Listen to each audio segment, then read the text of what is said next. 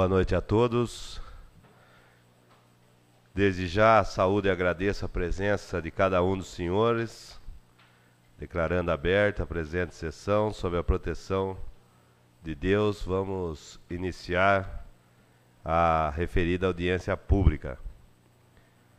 Convido para ocupar lugar nesta mesa, primeiramente, o primeiro signatário do requerimento que motivou o debate, vereador João Elias, por favor. Também gostaria de convidar a fazer parte da mesa o nosso secretário municipal de mobilidade urbana, engenheiro Vicente Silvio Ferraldo.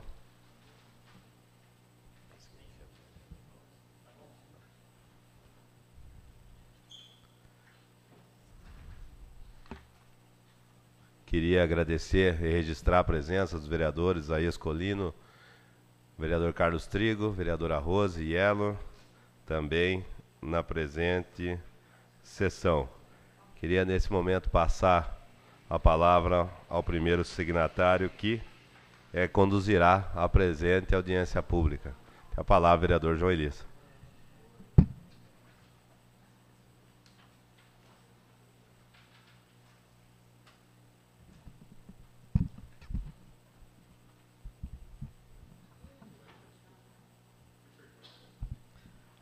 Boa noite a todos. Nosso encontro atende a solicitação expressa no requerimento número 24, de minha autoria, juntamente com os vereadores Fernando Carmone, Carlos Trigo e Valmir Reis. O nosso objetivo é debater sobre o projeto de lei complementar número 001 de 2015, que institui o Plano Diretor de Mobilidade Urbana, define o objetivo, políticas, visão estratégica e instrumentos técnicos para o desenvolvimento municipal e dá outras providências.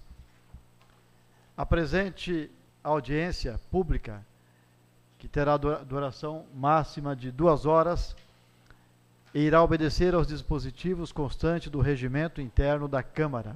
Cumpre-nos esclarecer que, no momento do debate, os vereadores e o público presente poderão alternadamente, formular questões ou emitir opiniões, respeitando o tempo máximo de dois minutos para cada pessoa. Eu quero passar a palavra. Só uma quebrinha aqui, eu registrei a presença do mundo, gostaria de registrar a presença do vereador Valmir Reis também, que está aqui no, no, plenário, que fique registrado aqui na, na presença de audiência pública. Muito obrigado, presidente. Eu queria agradecer a todos os funcionários aqui da Câmara. Muito obrigado pela acolhida. Queria agradecer aos vereadores que estão presentes hoje, em especial ao vereador João Elias, que formulou junto com o vereador Trigo, o vereador Valmir Reis e o vereador Carmone, né, que fez a propositura do, do, de, de, do projeto. Quero dizer e deixar muito claro para a população, né, para as pessoas que estão hoje presentes aqui, que o plano de mobilidade ele, ele dá um, um plano diretor, né? então ele, ele produz algumas expectativas dentro da, da, da, do que a gente pensa sobre a mobilidade urbana, sobre esse assunto tão importante. Ele não é um prato pronto, né? veio, a gente não veio aqui para né, falar, olha, isso aqui está certo, isso aqui está né, tá, tá errado. Na verdade, a gente vem numa audiência pública cheio de expectativas, de boas né, assim, propostas também das pessoas que estão aqui. Né? Então, é, ele não vai é, segmentar nenhum é, setor do que a gente está falando agora. Tá? Esse plano, ele é realmente um plano diretor, ele faz propostas para que, que os próximos gestores, inclusive, né, que a gente não consiga fazer todas essas propostas. Né? Eu queria citar um exemplo, por exemplo, do VLT. Né? Então, a gente projetou a, a, a questão do VLT. Nós vamos conseguir é, implantar esse VLT ao longo de um ano, ao longo de dois anos, mas ele direciona é, a vontade política de a gente ter um, um, um veículo, esse modal tão importante, como também o modal da bicicleta, o modal do transporte coletivo, né, o modal da né, a pé, então, como é que a gente vai dar uma, uma acessibilidade para as pessoas, para as diversas pessoas que precisam da acessibilidade no município. Então, ele norteia né, todas essas ações políticas, sociais, né, que são envolvidas dentro do, da, da mobilidade urbana. Se me permite, presidente e vereador, nós fizemos uma, uma, né, uma apresentação. É, é, muito difícil, eu estava conversando inclusive com o Flávio, né, o plano é um plano muito técnico, né, então se você começar a ler artigo por artigo, é, cabe, eu acho que, é, uma explicação, presidente, vereador, é, de como que a gente pensou nisso para que a gente pudesse discutir né, a acessibilidade, que estou né, vendo pessoas que são de interesse da acessibilidade, que a gente possa realmente ter é, essa condução de uma forma mais é, orientativa. E depois, como o vereador falou, né, abrir aí a, as questões. Quero deixar claro mais uma vez que esse plano é um plano que norteia. Né? Então, a gente vai falar sobre uso e ocupação do solo. Nós vamos dar é, a, os rigores da lei nesse plano? Não, vai ter lei específica para a multa, quem que vai multar. Então, esse plano ele só dá um norte do que os próximos gestores públicos, né, eles terão que fazer. Por exemplo, com relação à informação, né, nós temos um capítulo dentro desse é, nosso plano que cabe é o sistema de informação municipal. É lógico, imagina que a gente consiga ter, iniciar um projeto desse. E aí um outro governo, entra um outro grupo para governar a cidade e ele interrompe essa situação. Né? Esse plano, ele vai dizer, olha, gente, não, não dá para interromper, é daqui para melhor, nunca para piorar. Então, a importância do plano é realmente fazer com que exista um arcabouço de ideias que a gente consiga realmente ter é, assegurado que não é uma ação deste governo. Né? Então, o plano de mobilidade urbana não é uma ação do governo do prefeito João Cury. Né? É um, institui uma ação global para que outros grupos né, que, que, que virão, né, com certeza, administrar a prefeitura, tem, terão como objetivos a, essa plataforma. Né? Então, queria deixar claro isso, que não é um prato pronto, mas sim é, uma diretriz que a gente pode. E cada lei vai ter a sua é, especificidade. Né? Então, é isso que eu queria deixar claro. Se me permite, então, eu queria convidar o engenheiro Zé Paulo, da Alfarra, né, para que comece a nossa apresentação. Ele é o nosso consultor. E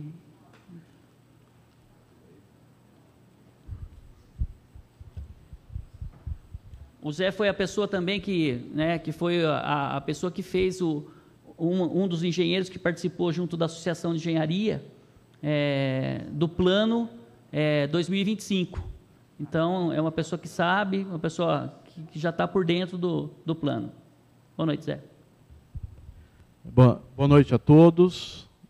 É, é um prazer estar na presença de vocês, num momento de cidadania no momento em que a sociedade ela se levanta para estar definindo o futuro que pertence a ela, né, gestado sim pelos seus governantes eleitos democraticamente, porém ela é a principal interessada em tudo, em todas essas esses movimentos, em todo o planejamento que é que vem realmente a, a a estar diante dela para que ela tenha o seu prazer ou a sua dificuldade. Então, é, os governos eles vêm e vão, porém as medidas de Estado são as que permanecem. E isso é, é certamente é fruto de uma sociedade atuante, uma sociedade que dá cada vez mais os, suas, os seus pareceres, as suas opiniões, e não se furta nunca de estar apontando o caminho correto e também apontando os erros que são é, fruto de correções da nossa, da nossa trajetória. Conforme o Vicente falou, esse é um plano, o plano diretor de mobilidade urbana ele vem trazer então expectativas, ele vem traçar metas para que os governos posteriores eles possam estar implementando todas essas, essas atividades de Estado que são necessárias ao nosso dia a dia. Então, a finalidade do plano, a finalidade principal do plano, do plano principal é estabelecer o direito de ir e vir a toda a população e o escoamento da produção urbana e rural, com a relação ideal custo-benefício social e ambiental. Isso já está no artigo 1 desse, dessa nossa, desse nosso plano diretor.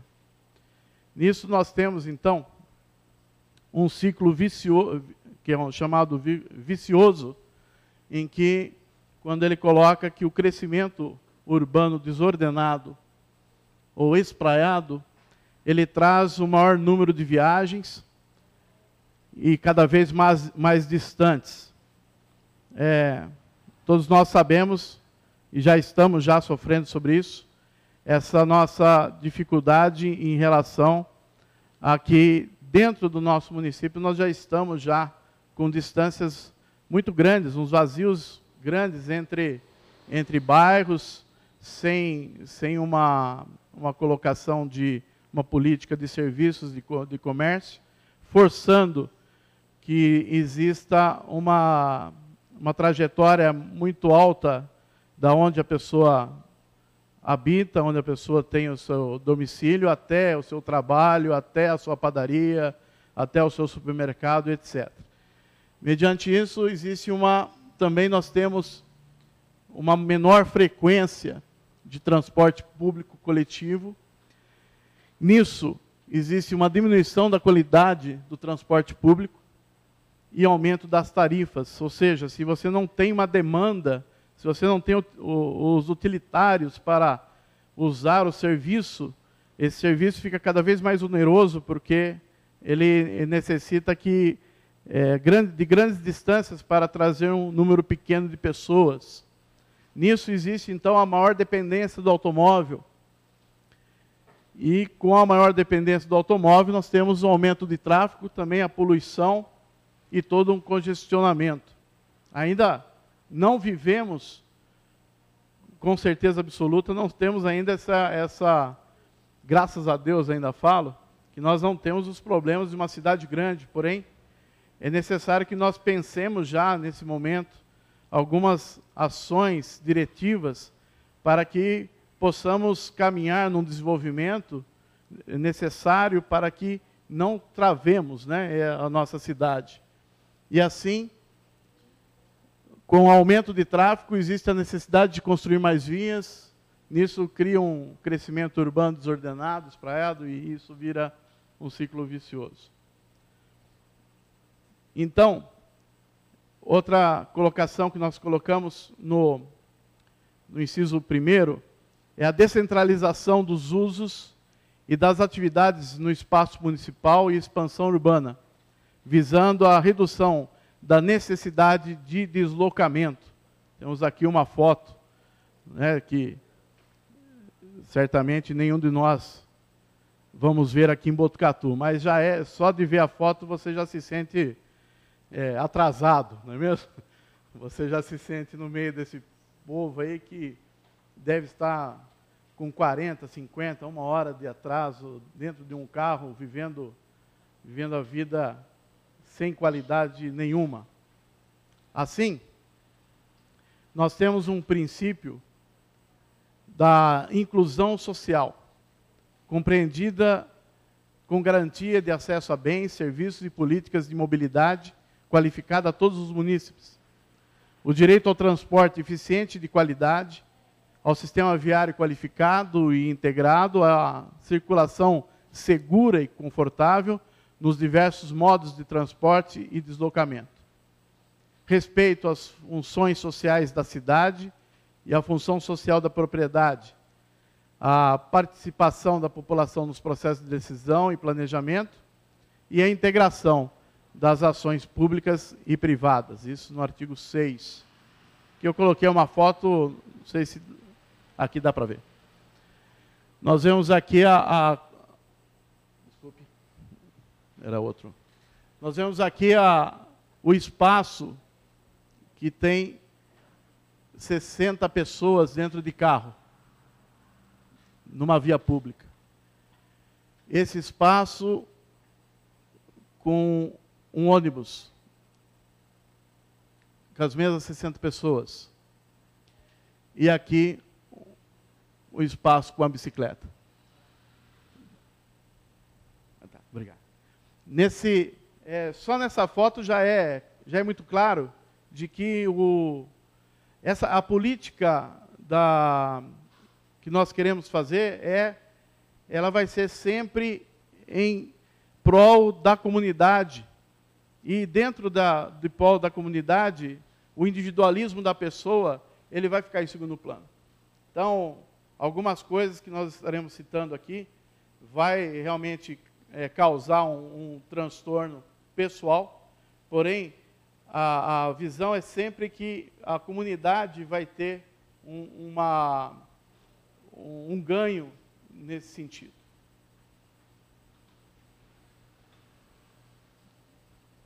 Ah, dentro das funções públicas de desenvolvimento, nós temos o planejamento do uso e ocupação do solo, segundo a Lei Federal 10.257, que é o Estatuto das Cidades, que é citado. É, nós temos em Botucatu né, alguns eixos de desenvolvimento, em que quatro eixos de desenvolvimento, é, dois eixos de, de desenvolvimento já estão praticamente saturados, que seria o setor norte e o setor leste. O setor leste, basicamente, por causa da Cuesta, e o setor norte ainda por causa do nosso, nosso famoso gargalo, né? que, é, que são as duas passagens para, para o centro da cidade, né? que é a Major Mateus e o elevado Bento Natel. E o, o setor oeste, nós temos né, a, a Unesp e Rubião Júnior ainda todo uma, um, uma, um, um eixo de desenvolvimento muito grande, uma, uma área bem plana, né, com a possibilidade grande de, de abertura de novas vias e que consegui, eh, conseguiria ajustar uma parte do, do nosso desenvolvimento. E acreditamos que no setor sul seria a, a grande, a grande vedete do, da, da cidade, em que, é, com a parte do parque tecnológico como um polo de desenvolvimento, atrairia toda a, uma situação de urbanismo naquela, naquele, naquela área. Daí nós temos uma situação atual de que no setor central está é, colocado no, praticamente 80% de todos os estabelecimentos de serviço e de comércio do município. Isso faz com que todos as, as, os setores externos a ele for, sejam forçados a visitá-lo, criando então o que nós temos hoje nesse nós já, já estamos vivendo hoje essa essa é, conurbação, né, esse congestionamento no centro da cidade. Isso principalmente em função dos bancos, principalmente em função dos bancos. Nós temos um, um refresco um pouco no setor norte, onde já existe ah, as, as agências bancárias e um, um setor até punjante de comércio e serviços. Porém, é, nos, as outras áreas estão praticamente, é, podemos dizer, isoladas em relação a isso. É, nós vemos o setor leste, um setor que já está devidamente urbanizado, que não existe absolutamente nada em relação aos serviços de comércio que eles são obrigados a, a, a ir ao, a, ao, setor central. A parte também da, setor leste, né? desculpa, o setor oeste, na parte do Rubião Júnior também, é uma deficitária, e o setor sul que está agora ampliando, porém sem, sem ah, nenhuma colocação ainda de serviço. Então, a proposta do para isso, nós colocamos então como proposta de desenvolvimento a, o incentivo aos polos geradores, em que nós é, é, cobriremos, é, cobriríamos toda a cidade com estabelecimentos é, que eles possibilitariam um deslocamento menor do que o, acontece hoje na cidade. Então, a, essa, essa, esse tópico, o artigo 12, ele é importantíssimo quando ele, ele fundamenta, ele, ele preconiza, ele indica essa geração das novas, dessas novas centralidades, com, pela implantação contígua dos polos geradores. Ou seja, o que é implantação contígua? É um polo gerador fazendo a, essa. Desculpe. É, eu, outra. Espera um pouco. É, é que o, até o fim da palestra eu, eu vejo como faz. É, que teria essas interseções né, entre eles. É, o que são essas. Uh, rapidamente, o que são esses coloridos? Né, primeiro, a parte verde, né, são a parte de, de rios e, e, e, matas né, dentro da, da própria cidade, né, a parte de, de APPs necessárias à,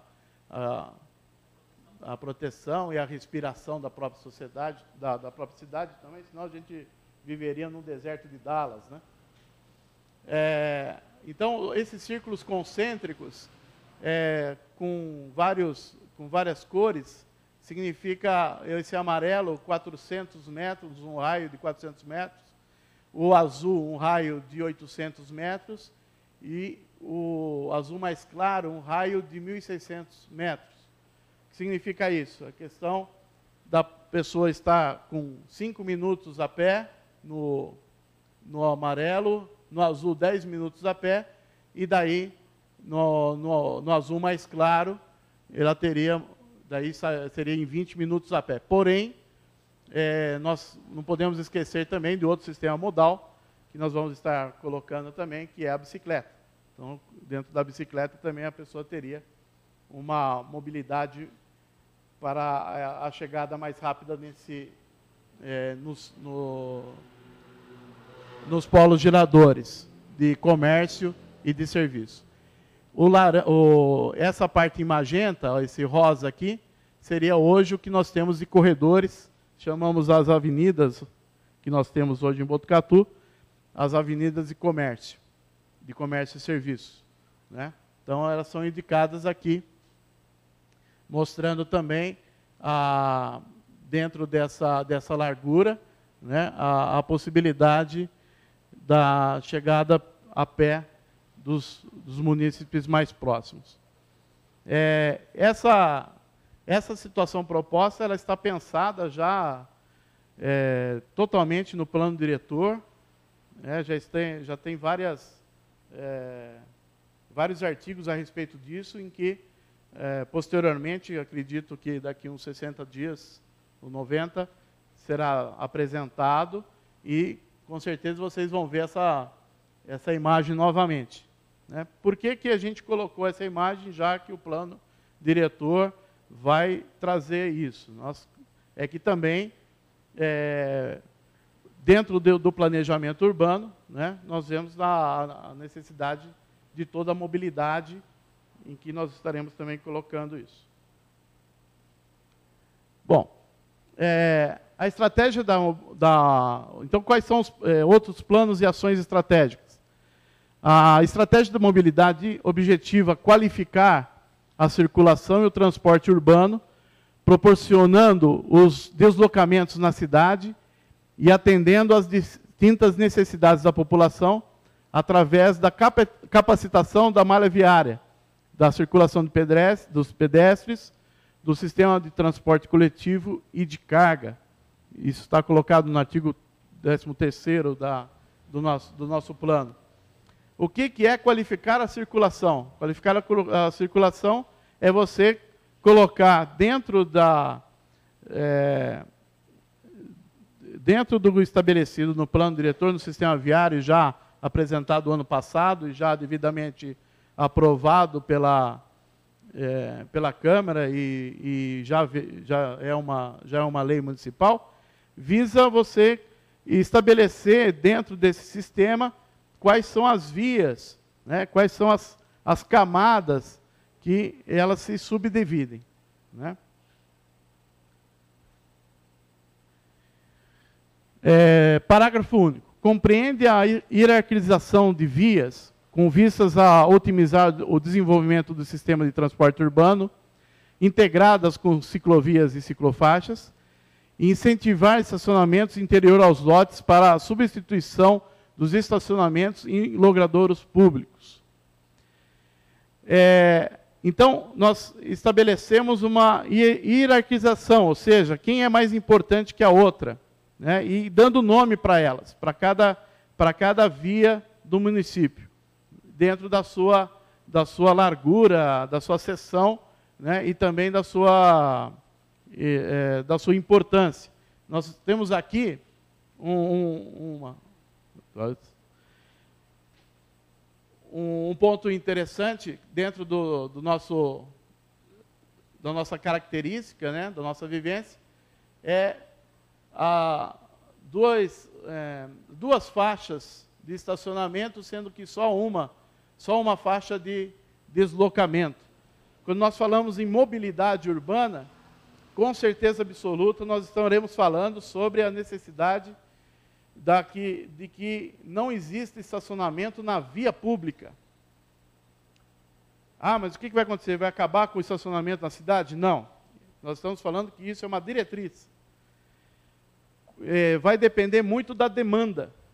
Então, o plano, o plano diretor dando autorização para que uh, o Poder Executivo trabalhe em ações para que gere a mobilidade urbana, nós podemos daí conseguir com que no, uh, essa situação não aconteça mais dentro, principalmente, do centro da cidade.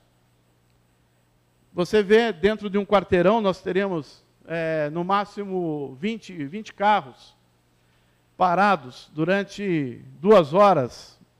Né? Você pega essa quantidade de carros, se isso fosse uma via de mobilidade, nós em duas horas nós trabalharíamos com, com mais de 2 mil carros passando ne, nesse movimento. Mas, dentro ainda dessa situação, nós dobramos, nós dobraremos o fluxo de veículos e triplicaremos o fluxo de veículos, falando somente em carros. Depois a gente vai entrar também na parte de transporte, na parte de transporte público, que é também essa parte onde, nós está, onde o, o plano também estabelece faixas exclusivas de ônibus, em que essa faixa exclusiva de ônibus já está mais do que é, estabelecido em, em cidades maiores, dando uma fluidez de 80% a mais do que se não tivesse. Então, é, dizem que os inteligentes aprendem com os próprios erros os sábios aprendem com o erro dos outros. Então, no momento que você olha uma, uma aplicação em que deu certo, né, não há por que você querer inventar a roda, você deve realmente seguir esse caminho. Por isso, o plano, então, estabelece também as faixas exclusivas de ônibus. E, e também traba, trabalhando em, em, em setorizações é, na parte de de faixas é, exclusivas de ônibus e também as faixas de, de automóveis. Diante disso, dentro da hierarquia, ficam instituídas as vias arteriais 1, 2 e 3, que, por seu papel especial no equilíbrio do urbanismo da cidade, deverão concentrar atividades de comércio e serviços e ser morfologicamente diferenciadas, tendo índices de aproveitamento e tratamento de passeios específicos ao fim. O que, que significa isso? Significa que nós temos, é, nós colocamos na cidade, primeiramente, um anel viário e é, algumas vias que alimentarão as chamadas coletoras, que nós trataremos depois. Então, é, principalmente, nós trabalharemos num, num anel viário, e também em, em algumas áreas do município que, é, que a ideia é estar, então, vascularizando algumas áreas necessárias para o desenvolvimento da cidade. Posso dar uma. uma... Então, né, nesse, nesse anexo aí, é, foi, foi colocado aqui para a Câmara Municipal, até em arquivos. Então, a gente já tem disponível né, é, todas as ruas efetivamente que são é, elencadas dentro desse, desse, desse arcabouço. Então, o que o Zé falou sobre vias principais, vias arteriais, vias secundárias, elas já estão desenhadas dentro desse anexo, que é esse anexo mesmo que está sendo mostrado. Né? Então, tem a planta aqui com a relação das ruas que são denominadas, né, Zé? Para cada, cada tipo é, de via. Né? Então, ele vai desenhar depois, ali na, na sequência, qual é o gabarito dessa via, mas dentro do plano, ele já vai dar importância para cada via específica. É, lembrando que nós estaremos, é, a função do plano é determinar a função para a via. via. As vias já estão devidamente colocadas em, em lei específica que foi feita no, no, ano passado, dentro do sistema viário elaborado pela Secretaria de Planejamento. Então, é, nós temos, na, na, dentro dessas vias arteriais, três tipos de vias arteriais que já estão especificadas em lei específica. É, é, é uma redundância, porém. É, então nós temos a, a, via arterial, chamada via arterial número 1, né, em que ela, ela tem um, um canteiro central de prática, é, 11 metros de, de canteiro central, com 10 metros e meio de faixa de rolamento, com 4 metros de calçada na parte onde não, ela não vai receber a ciclovia, e 3 metros no outro, 3 metros nós estamos chamando 3 metros livre, né? É, do outro lado, sendo que a ciclovia também ela tem com 4 metros, porém 3 metros livre, porque 1 metro dentro dessa parte da ciclovia é, é colocada para serviços, posteamento, arborização, é, equipamentos urbanos, etc. Aí nós temos a arterial 2, né, que tenha basicamente a mesma configuração, é, a mesma configuração na parte é, viária, né, mas ela aproveita uma, uma maior, uma, um maior espaço na parte da, da alta tensão, em que, inclusive, ela, ela tem um, um espaço de 6 metros para que exista uma possibilidade de uma é, de uma futura ampliação, de que seja VLT, seja um BRT, seja qualquer outro equipamento urbano, ela poderia, é, em, em um futuro, ser expandida o seu sistema viário. Na sessão típica A3, né, é que o, não cabe muito é, dentro do vídeo, né, mas é, creiam em mim que essa, essa, essa largura dela total, ela chega a mais de 100 metros de largura, no sentido que você consiga daí dobrar praticamente o sistema viário proposto. Em primeiro lugar, você criando um, uma, é, uma, via, uma via secundária e depois uma via expressa, né, como nós temos hoje na, na cidade de São Paulo né, onde que você tem as vias locais e também a via expressa. Já é uma dentro desse anel viário, como está tudo para ser estabelecido, então, na parte do loteamento, quando o loteador é, pedir a diretriz, a prefeitura, é, mediante a Secretaria de Planejamento, indica é, essa, essa, esse gabarito. Lembrando que todos esses gabaritos eles estão é, colocados na, em projeto, já em lei. Né? Bom, de, é, isso eu vou até voltar. É, lembrar, por, por, que, que é no projeto de lei, a gente, no, na lei a gente já tem isso, essa, essa faixa de rolamento de 10,5, que nós, mas a gente especifica na parte da, dentro desse sistema a faixa exclusiva para ônibus e as exclusivas para veículos leves e pesados. Né? Então, é, dentro dessa, dessa ideia em que a gente colocaria a, a faixa exclusiva para ônibus e também as faixas de veículos leves e pesados. Nesse caso particular, na, nas, nas vias arteriais, os veículos pesados. Porém, é, fica como sugestão a necessidade de nós tratarmos a logística da nossa cidade. A, a proibição, que não é parte da, da, de uma lei de diretriz, mas é, futuramente, dentro de um código de, de, desculpa, dentro de um plano diretor, possa ser colocado a interrupção do, dos equipamentos pesados dentro do, da, da área mais central da cidade para que não, é, não aconteça uh, os problemas que esses monstrões têm. Né? Então, bom, é, daí também, é, dentro da hierarquia, ficam instituídos os seguintes enquadramentos das vias de acordo com a sua hierarquia. Vias arteriais ou principais, que nós já falamos, vias coletoras ou secundárias e vias locais. As vias coletoras ou secundárias são essas indicadas em azul, em azul e, magenta, né? É, lembrando que nós temos então o anel viário na, nas arteriais e todas essas, essas outras vias coletoras locais. Vocês podem perceber que o centro da cidade está inteirinho vascularizado com elas.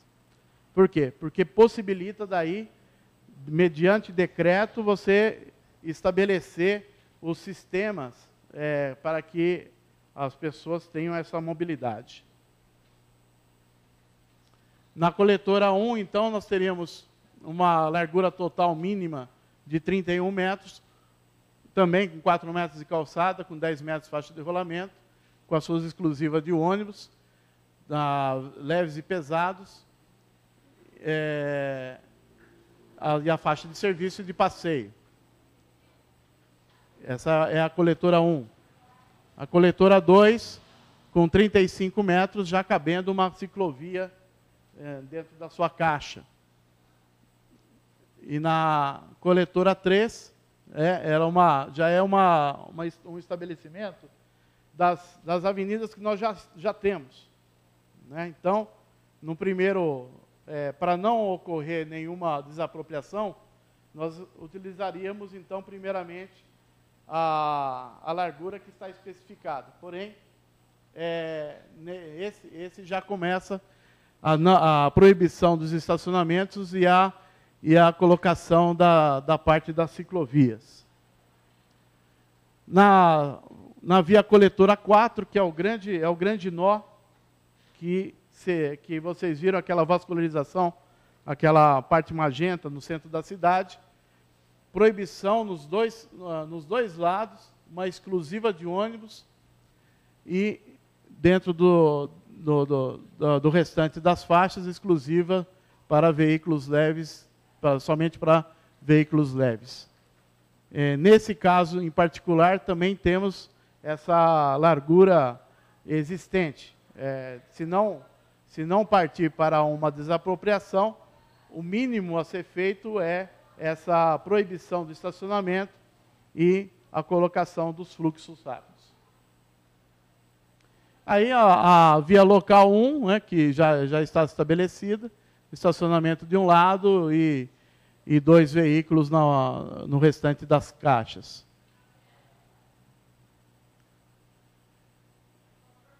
E na, na local 2, também do mesmo sentido. A, a 1 e a 2 em relação a uma largura de 14 e outra que é largura de 15. A 14 estabelecida em lei e 15 alguns, alguns outros loteamentos mais elaborados com essa largura de 15.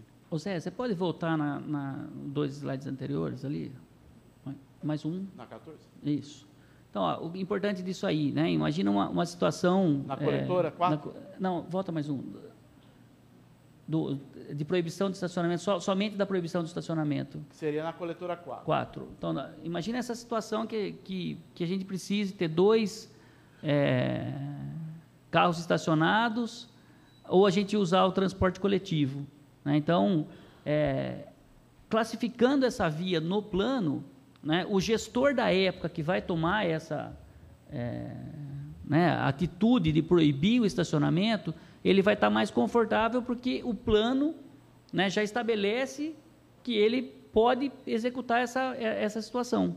Então, nessa classificação de via que é importante, que o Zé falou, imagina a via Curuzu, né, por exemplo. Se a gente determinar que ali vai ser é, um corredor de ônibus, do INSS para baixo, vamos imaginar, né? É, necessariamente precisaria proibir o estacionamento do lado esquerdo também, né? para que a gente pudesse ter uma vazão melhor do fluxo de trânsito. Né? Então, ele, esse plano, ele vai pedir para que faça isso amanhã? Não, mas ele vai direcionar isso para que possa ser feito e o gestor da época vai ter o apoio do plano para falar, olha, foi definido que essa via é uma via que realmente tem uma característica igual definida aí pelo, pelo, pelo plano. Então, a importância da, da gente ter o plano assim desenhado é para que os gestores próximos, né, inclusive até acredito que a gente também, né, porque muitas das coisas a gente vai querer também é, executar, estejam mais à vontade para realmente executar algum, o, o plano. Ok.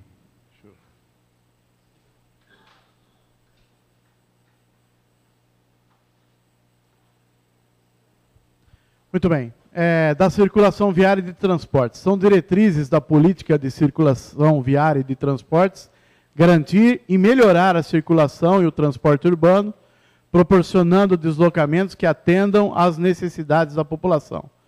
Priorizar o transporte coletivo ao transporte individual tornar mais homogênea a acessibilidade em toda a área urbanizada da cidade, adequar o sistema viário, tornando-o mais abrangente e funcional, especialmente nas áreas de urbanização incompleta, e também ampliar e melhorar as condições de circulação de pedestres de, de grupos específicos, como idosos, pessoas com deficiência e crianças.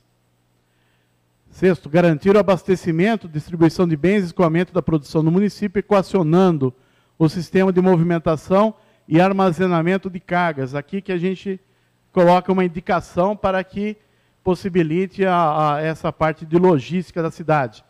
Vincular o planejamento e a implantação da infraestrutura física de circulação de transporte público às diretrizes de planejamento contidas no PDMU, que é o Plano Diretor Municipal de, de Mobilidade Urbana. Estudar soluções para a travessia de pedestres nas vias expressas e urbanizar adequadamente as vias da, da ficou dois mas da rede estrutural e os, os corredores de transporte. Bom, mediante isso, nós colocamos então uma estrutura, é, essa estrutura geral de transporte coletivo, né, que ele parte da delimitação dos conceitos de zona de tráfego, rotas articuladoras, rotas locais e rotas regionais, interligadas aos terminais de articulação. O que, que acontece hoje? Nós estaremos, então, o plano, então, ele está, está estabelecendo é, fatores que incentivariam a, a utilização do transporte coletivo. Como que você é, melhora o transporte coletivo? Primeiro, numa, em via, uma via melhor para que o ônibus rode com mais tranquilidade, uma via específica somente para ele e também, mediante isso, um, um, planejamento em que as suas rotas elas é, demorariam menos para que as pessoas pudessem chegar até o seu local de trabalho. Nós falamos que em torno de 80% essa essa melhora no sistema público, né, no, sistema de transporte público coletivo.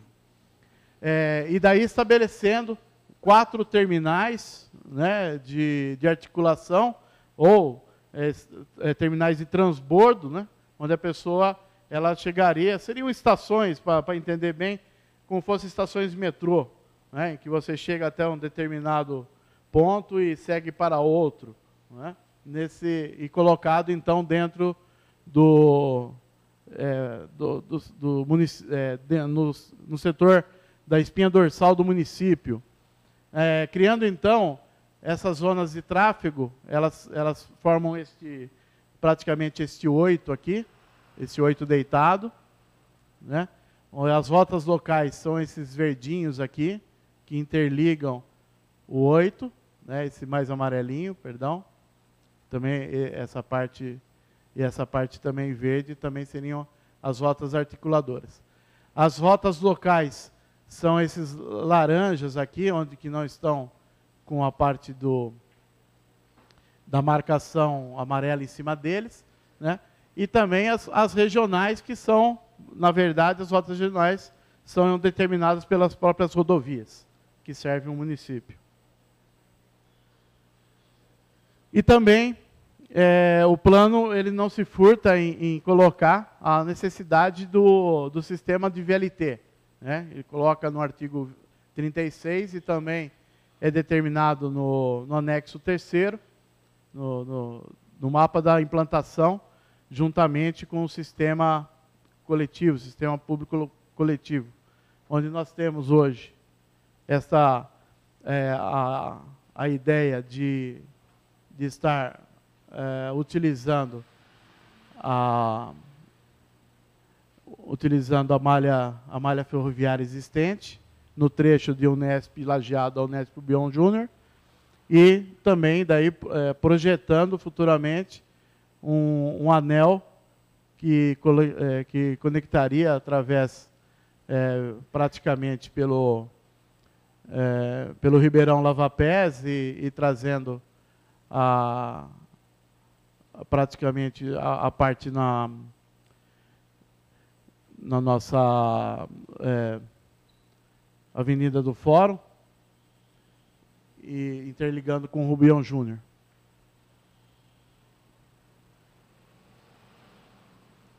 Bom, em relação à, qualificação da, paisa, da, paisagem urbana, que tem como objetivo a, a requalificação dos espaços públicos através de ações que garantam a preservação dos valores culturais, históricos e paisagísticos, promovendo as suas potencialidades, bem como a plena utilização dos logadouros públicos, com conforto e segurança ao bem-estar do dos munícipes. Né? Ou seja, isso vai desde a, a correta implantação de calçadas, como também a colocação da, da é, da utilização das vias públicas em ciclovias e também no, BL, no VLT e BRT, né, a parte de sistema público. É interessante nós falarmos que a parte, é, o plano ele não, ele não é restritivo, ele não coloca penalidades, não é, não é função do plano. Né, ele só está, ele está abrindo a, a, a discussão para que daí com o código de postura, principalmente o código de postura, que é o, que é o grande norteador nesse sentido, que vai trazer toda a parte de como deve ser a calçada, é, qual que é o seu tratamento específico em relação à parte da, dos pedestres e também recuos, é, modificação, né, essas, esses avanços, né, é, tudo isso é, é sempre colocado dentro do código de postura. Não é função do plano diretor. Bom, daí dentro da, da qualificação, da requalificação desses espaços, desses espaços públicos, é, nós temos então, nós colocamos né, nesse, nesse, nesse plano já uma, um, uma sugestão, né, uma indicação, norte, de um sistema de ciclovias e ciclofaixas que seriam estabelecidos no município. Né? É certamente essa é, a ciclovia e a ciclofaixa também de toda desde, desde a implantação da, da, da proibição dos estacionamentos, da retirada dos carros estacionados no, nos logradouros públicos, é, ele, ele tem é, principalmente a motivação da demanda. Ou seja, não, não há por que você fazer todo, se vocês forem ver, dá uma malha aí, hoje a gente colocou uma malha em torno de mais de 10 quilômetros de ciclovias e ciclofaixas. Tem tanto ciclista assim na, no município? Pelo meu corpinho, vocês veem que não. Né? Porém, é, é, mediante a demanda, né, mediante a demanda da própria sociedade, já o plano indica aonde seria interessante que ocorra a implantação dessas ciclovias e das ciclofaixas. Ok? Para que é, a gente também tenha essa parcimônia nesse tratamento. Posso né? também dar você, uma, uma, ajuda aí, Zé? Só para finalizar. É, só uma parcimônia nesse tratamento, em que você proíbe, por exemplo, uh, um, um, um, sistema de, de carros, né? em que existe a demanda de carro, ou um sistema de ônibus em que existe a demanda de ônibus, para você colocar uma ciclofaixa que não tem demanda. Então ela vai, ele, o plano ele abre a possibilidade e daí vai ser implantado conforme a, a, a demanda da própria sociedade. Esse é um aspecto do plano e outro aspecto também é que o gestor possa também é, incentivar o uso da ciclovia. Né? Então, imagina que, que, que é, precisa ter, um, é, a demanda é pequena, né? mas que existe uma política pública para incentivo da, da, da ciclovia. Né? Então, com esse parcimônia, né, adotar esses critérios também. Então, é, ele foi colocado para que a gente possa dar a possibilidade, mas também é, na questão da educação. Então, precisa criar uma demanda, não existe essa demanda ainda mas é, é, o plano também possibilita o gestor na, da época, né, com essa né, disposição de ter também, a, dar uma forçadinha para criar demandas também. É, e dentro dessa, dessa política né, de incentivo e demanda, né, já, já existia já dentro do planejamento a, a instalação da ciclovia na parte do, do eixo universitário, interligando até Rubião, interligando as duas Unespes, né? E, e, é lógico, nós temos que entender também que dentro da, da, do, da parte do Estado, nós temos várias etapas a serem cumpridas, existe uma burocracia muito grande, então eu tive lá dentro, já sei, eu sei como que é, a, a frustração às vezes é enorme, porque você estabelece um objetivo, faz tudo, só que daí burocraticamente a coisa não anda, o vereador promete para o grupo do, dos munícipes, cria uma expectativa. O, quando chega, eles estão quase brigando. Né? Então, no fim, o que era, o que seria um prazer para o munícipe, vira quase um, uma briga. Né? Quando chega, dá vontade de falar, agora também não precisa. Né? Mas, é, é, dentro desse, dessa história, da gente poder também ter esses, esses mecanismos de pressionamento, né, de pressão popular para que seja efetivado. Nós temos hoje, por exemplo, voltando a dizer, esse projeto está pronto, é, inclusive está orçado, mas é, é necessário ainda o, o, né, os, os, os, mandatários né, colocar a sua pastinha né, como caixeiro viajante e pedir dinheiro, porque infelizmente o município ele não tem também uma capacidade de investimento tão grande assim. Necessitamos muito né, do Estado, e também da federação. Né? Mas, certamente, dentro dessa demanda particular que é entre as Unesps, já está é, sendo é, direcionado e também incentivado.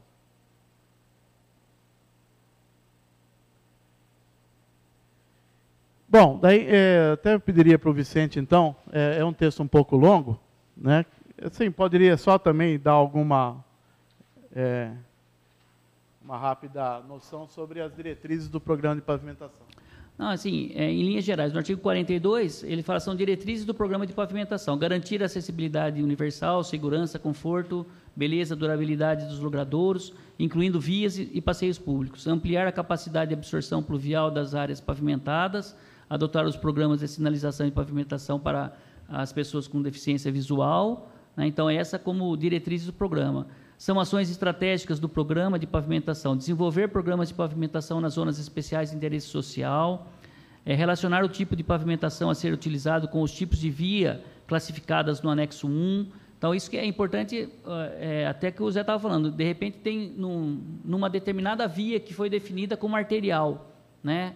É, esse tipo de pavimento ele vai ter que suportar ao, ao, diferentes é, tonelagens de, de, de, veículos, como diferente que seria num bairro local. Né? Então, ele, ele determina exatamente isso. Criar mecanismos legais para que os passeios e as áreas externas pavimentadas implantem pisos antiderrapantes. Então, é, antiderrapantes, é, é, adotar nos programas de pavimentação de vias locais pisos que permitam a drenagem de águas pluviais para o solo. Isso é uma coisa legal também. Né? Que se a gente conseguisse, em algumas dessas vias que suportem né, o tipo de tonelagem específica para aquela pela via, eles tenha um piso de absorção. Adotar nos programas de pavimentação, visando a implementação de sinalizadores para deficiências para pessoas com deficiências visuais, né? Então é isso aí. É, lembrando, pessoal, que a, quando você fala via, não é só a faixa rolante. Né? Você também tem a parte de todos os passeios. Por isso que, é, aí, às vezes, ah, será que vai colocar uma é, na via toda, uma para a pessoa com deficiência estar tá andando no meio da rua? Não. Essa, essa citação é sobre ah, o calçamento né, da, do passeio. E é, é, mesmo da, da, da, parte drenante. É, existe, lógico, ainda, ainda uma tecnologia ainda para ser é, é, praticada, né, que é a, o asfalto drenante. Mas esse, isso o plano especifica, na verdade, a parte da, da, da, é, do passeio público, né, em que a, a prefeitura já está colocando nas suas praças né, todas essa, essas partes com o sistema drenante e também com a indicação para as pessoas com deficiência. É, daí, pessoal, da, da parte dos estacionamentos. É obrigatória a previsão de local interno no terreno destinado à guarda de veículos, minimamente nas proporções da lei de uso e ocupação do solo. É, nós é, colocamos duas, duas fotos é, distintas uma mostrando a, a, a realidade que nós temos hoje. Né? guias total, totalmente rebaixadas, né? com estacionamento à, frente do, do, da, do, do, comércio, com a dificuldade do próprio, do próprio pedestre em estar andando nas vias, né? com, a, com uma ré de um carro ser atropelado. Né?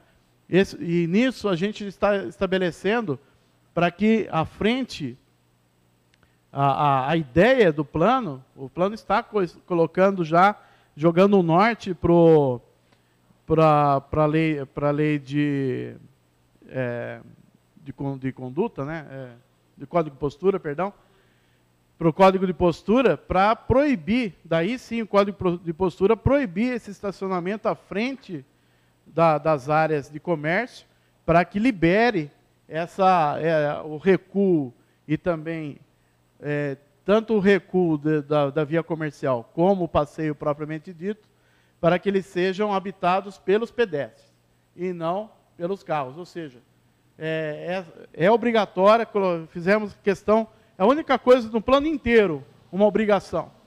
A obrigação no plano inteiro, uma só, essa, de que seja previsto que o estacionamento seja no interior do lote não mais na frente.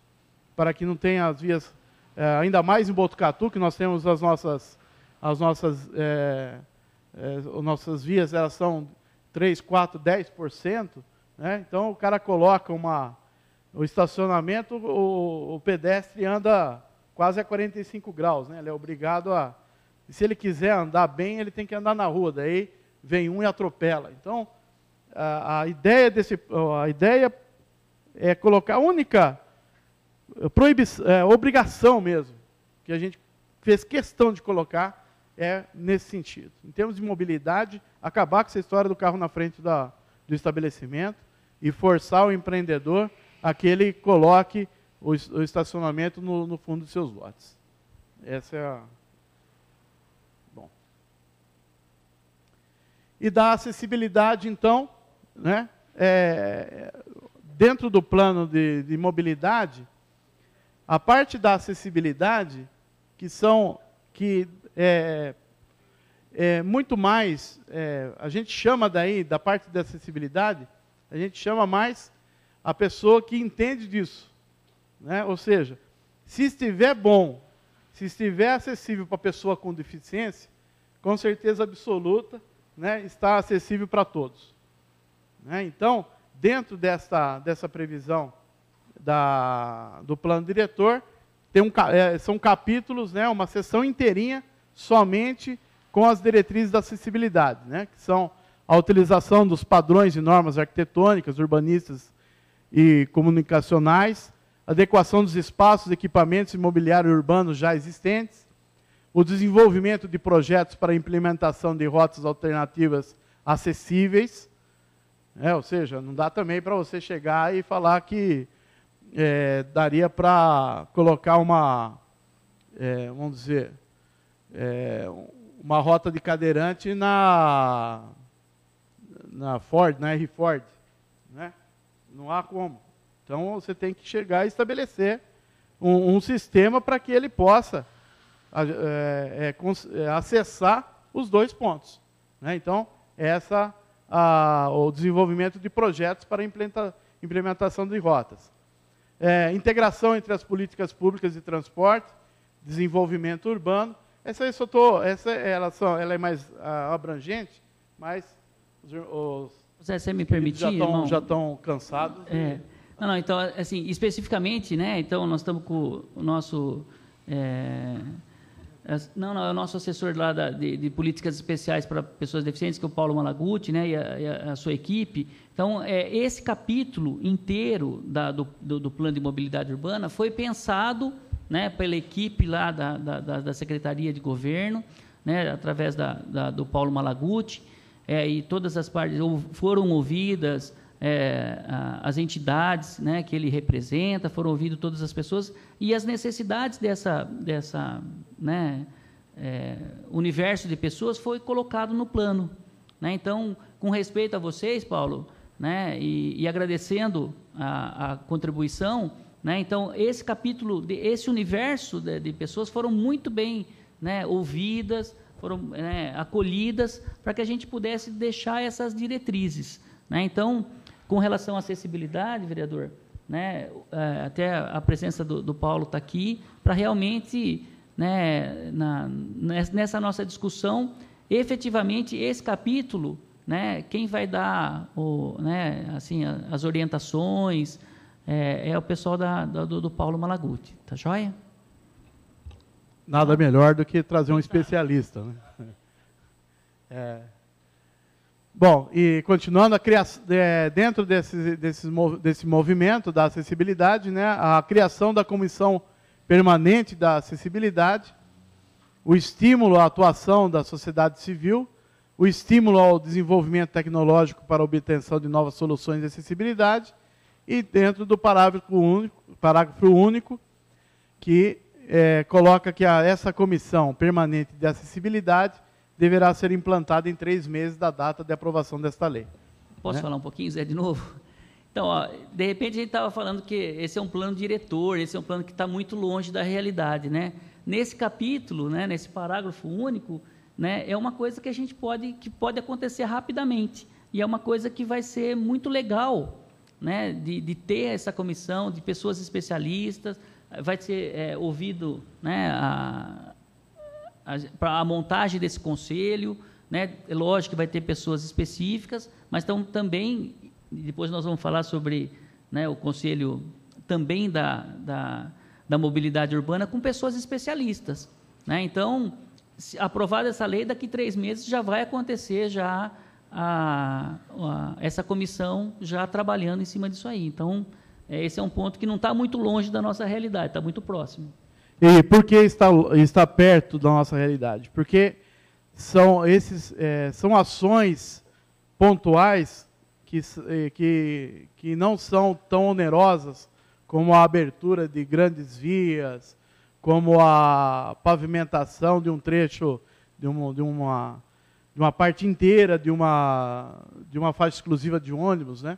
Então, são ações que que são desde uh, você acertar a calçada da frente da sua casa, você tem uma normatização de, de rampas de acesso, de, é, indicações. É, então, a gente traz essa, essa, é, essa data porque a gente tem essa plena certeza de que essas ações elas são rápidas e vai trazer uma melhora momentânea, é, uma, uma, memória, uma, uma melhora rápida para toda a sociedade. E também força, né, já dá uma, dá uma cutucada no Nelson Lara, aproveitar que ele está aqui, já força também o município, já está também colocando a lei, né, de código, o código de postura aqui. Eu estou sabendo que está muito, muito, está tá bem, bem adiantado se não estiver pronto, deve estar tá, tá no, no, no forno, né? Então, a própria comissão de, de acessibilidade também, ela também traria esse movimento político para que traga essa, essa lei à baila e que nós possamos também trabalhar uma cidade que seja boa para todos. Então, dentro da acessibilidade, são diretrizes da acessibilidade. Eu voltei ou fui para frente? Então vamos lá. É, da gestão democrática do sistema de mobilidade urbana. O Executivo manterá atualizado o Sistema Municipal de Informações sobre Mobilidade Urbana e de Transporte, progressivamente georreferenciadas em meio digital. Fora isso, né, isso, isso já está acontecendo no site da, da Secretaria de Mobilidade. Apesar desta foto não ser a foto lá do, do espaço que eles têm, mas a gente achou uma foto muito próxima do que eles têm hoje. Né? Já, já estão todos os, o, toda a parte de sistema uh, de, de, de, ônibus já está totalmente eh, monitorado com, com GPS, sabendo se eles estão é, atrasados ou no horário, né? Então, até queria fazer um convite, esse, esse foi proposital não colocar a foto da secretaria, né? É, para que a gente tenha o estímulo de, de conhecer é, é, esse setor lá da prefeitura. Então, convido todo mundo, né, lá é um setor público, é aberto, né, não tem, é lógico que a gente tem uma sala também que tenha os aparelhos, tem, tem que climatizar, mas efetivamente é uma sala aberta, é uma sala que né, os vereadores já conhecem, mas quem não conhece ainda, eu gostaria muito que está tá aberto lá, né, para que a gente possa cumprir esse papel do, do plano. É, e assim, a gente não, não citou, mas está na lei que também o executivo também manterá é, toda a parte de cadastramento de água, de água e esgoto, ele vai centralizar nele. A ideia do plano é que centralize no, no executivo, porque a gente não aguenta mais o executivo ir lá, parece que a Sabesp fica esperando, né? Pavimenta, fica legal, quando vê, ele pega e abre um, um buraco lá. Então o executivo vai pegar na, vai pegar na veia da, da Sabesp para não deixar isso. Se vai, vai acontecer alguma coisa, então faça antes, porque não é possível, né? É, só eu que vi isso, ou vocês também? Se dá uma raiva, é isso aí. Né? Fica bonito, bem pavimentado, né? Um, um, deixa até um abraço para o seu Zé Marque, que que a equipe dele está indo muito bem. Mas, gente, é, é de, de doer o coração, né? Aquele piso certinho, vai lá e quebra. Né? Mas tudo bem. É, vamos para frente. Para frente. E daí, assim, é, fica atribuída, então, à Semutran as funções pertinentes ao Conselho Municipal de Mobilidade Urbana. Compete à Semutran formular e compatibilizar políticas, planos, pro, programas e projetos de mobilidade urbana e a incorporação desses aos orçamentos plurianuais, anuais e à lei de diretrizes orçamentárias, através de um processo contínuo, dinâmico e também flexível. Né? Se existe uma coisa que é flexível também é o, é o, é o, é o trânsito. Né? Às vezes a implantação que você imaginava que ia, ia criar uma solução, às vezes é, cria um problema. Né? Então, é, essa, às vezes, não é feio voltar atrás. Né? A gente vê isso, uh, infelizmente, a gente não tem, o Vicente vê isso, né? nós não temos essa abertura de vias, então o que, o que a gente faz é poder tentar ver por onde passar um o catéter, né? nas vias que existem para ver se flui. Não é isso? É, e a, a, função principal que eu vejo no, no, no primeiro, no, no, no, parágrafo primeiro, criar canais de participação da sociedade na gestão municipal. É, ele está abrindo, é, é uma gestão.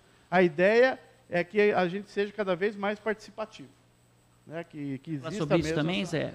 Então, um, quando foi pensado nesse artigo, né, foi realmente a, uma das primeiras palavras que eu falei aqui. Né? A gente não está trazendo um prato pronto e a gente quer soluções, quer ideias. É, então, montando esse conselho também, a gente vai amparar também a secretaria, os técnicos da secretaria, de é, situações que venham da demanda da comunidade. Né? Então, hoje, por exemplo, o Conselho de Transporte Coletivo, que já existe, já está atuando, então eles nos, nos ajudam nas decisões também é, da, da, secretaria. Esse conselho, né, além desse caráter de competência da Semutran, mas ele também terá é, a participação efetivamente da, da, comunidade. Eu acho que isso aqui, é, assim, para a gente, né, assim, se for aprovado pelo, né, por, pelo o plano, com essa redação, né, a gente, quando montou, né, vereador, é, sabia que isso era uma coisa muito legal. Sabia que é uma coisa que é, independente de gestão, a gente vai garantir que a participação da população seja né, efetivada. E instituir um processo permanente e sistematizado de atualização né, do, do, desse plano diretor. Então, ele não é, por ele não ser um plano pronto, ele pode, ele pode ser é, atualizado a qualquer momento, sistematizado, pensou numa coisa, não deu certo, modifica é, dentro dessa, dessa colocação junto com a sociedade. Então é isso. Obrigado a paciência de vocês. É, vocês me perdoem pela pois é que realmente é, ele é um pouco longo, não tinha como a gente fazer em menos tempo. Muito obrigado. Nós Nós que agradecemos a explanação e, e fica então aqui, eu quero registrar a presença do secretário Nelson Lara, do presidente do Solidariedade, do Partido de Solidariedade, o Marcos Figueira, e também dizer que está aberto para perguntas, senhores vereadores que queiram fazer pergunta, opinar, e também o público. E nós teremos então dois minutos para perguntas, tanto para o secretário quanto para o expositor, não é isso? Aliás, Pode ocupar, ocupa aqui a, a tribuna, porque a mesa, para que você possa eventualmente responder. Ah, na medida em que eu tive contato com o projeto, e vocês também devem ter percebido isso, é, ele, ele no, no, primeiro momento, ele nos é muito técnico. Muito técnico. Inclusive a explanação, ela é, ela é e tem que ser técnica. E é muito complicado, não é, Flávio? e a gente fica um tanto perdido. Eu confesso que eu li uma, duas, três vezes, estive diversas vezes na secretaria, e o secretário, é, com muita tranquilidade, se colocou à disposição para explicar, e aí eu já faço aqui um convite. Até conversava com ele agora há pouco, nós temos aí pelo menos aí mais uma semana, dez dias, é, e, e, e não dá para abrir o tempo todo, mas para que as pessoas sintam a vontade, dá um pulo na secretaria, eu acho que é importante. E é claro que aqui é, a gente já percebeu, já foi dito pelo secretário, você disse também, é um projeto propositivo, ele não é impositivo. É uma proposta, é uma sugestão, e ele não está engessado. Portanto, ele pode ser alterado. Portanto, é, além da questão de ser alterado, ele será revisado periodicamente. Né? Na verdade, ele é uma orientação, é uma sugestão para uma adequação, para que a gente tenha de fato, uma atenção especial com a questão da mobilidade no sentido mais amplo da palavra. E aí eu abro, então, para que se alguém quiser fazer pergunta para o secretário, os nobres vereadores, o público. Trigo.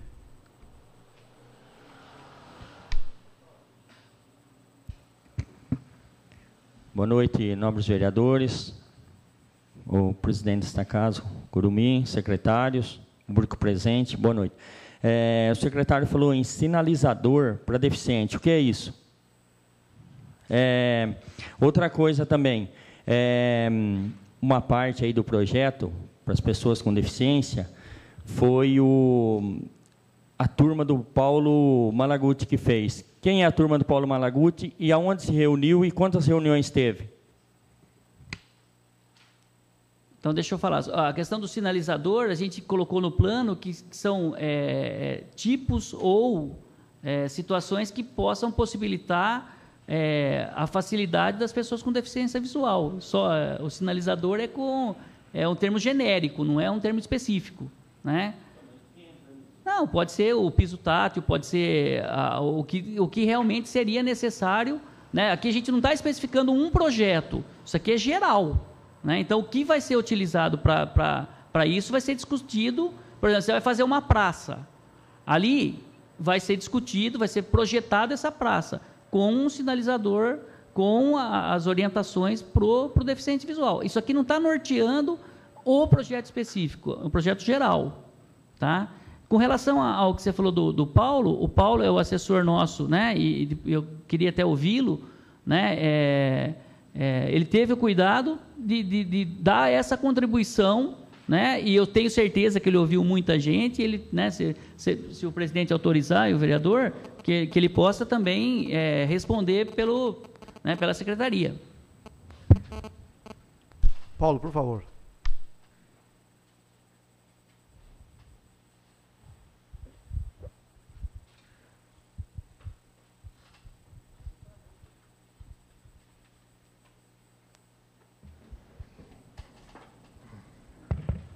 Boa noite a todos.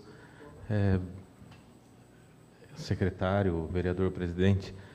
É, na verdade, não, não fui nem eu quem, quem determinou essas diretrizes, enfim, acho que a gente já tem um volume bastante importante de normas e leis que falam a respeito de quais são é, os dispositivos que contribuem para que a via pública seja acessível acessível para qualquer pessoa e não só pessoas com deficiência, pessoas idosas, pessoas com mobilidade reduzida, enfim. Então, esses dispositivos, como o vereador é, questionou, estão previstos na norma BNT 9050, é, onde ela diz como deve ser um semáforo, como deve ser um piso tátil, como deve ser uma rampa. Tudo isso já está amplamente discutido e amplamente determinado através das normas. E no plano isso vem citado. Tá? Ela, é, em diversos artigos do plano, é, são citados. Paulinho, é o artigo 46, inciso 2, só para. Ok. E, então, no plano, isso está bastante ressaltado, e são normas que atendem a qualquer legislação municipal, estadual, federal, que foi uma construção feita pela comunidade brasileira, não foi exclusivamente pensado é, por Botucatu. E a respeito do, do grupo que, que discutiu isso, é, também a gente tem o Conselho Municipal da Pessoa com Deficiência, que é um conselho constituído, representativo e legítimo, aonde as pessoas se reúnem mensalmente. É, esse plano foi passado ordinariamente nas reuniões ordinárias do conselho, nas reuniões ordinárias também do conselho do idoso, aonde também devidamente constituído, legítimo conselho, em discussões também dentro da própria assessoria do município, é, com contribuição da Secretaria de Planejamento e outras secretarias. E esse plano também é para informar é, ao vereador, é, Botucatu tem representação no Conselho Estadual da Pessoa com Deficiência, tem uma cadeira no Conselho Estadual da Pessoa com Deficiência. Eu hoje é, estou na condição de presidente do Núcleo 4, que é uma das regiões administrativas é, do governo do Estado de São Paulo, que discute a questão da pessoa com deficiência. E tudo isso que eu trouxe para o plano de Botucatu, através do plano de mobilidade, que o Vicente e o Zé Paulo foram os capitães aí do plano, é, foi também contribuições trazidas de discussões de âmbito estadual junto ao Conselho da Pessoa com Deficiência. Você, eu vou pedir para, por favor. Você mesmo. É, para que no início da fala se apresente, diga o nome, para que possamos registrar aqui.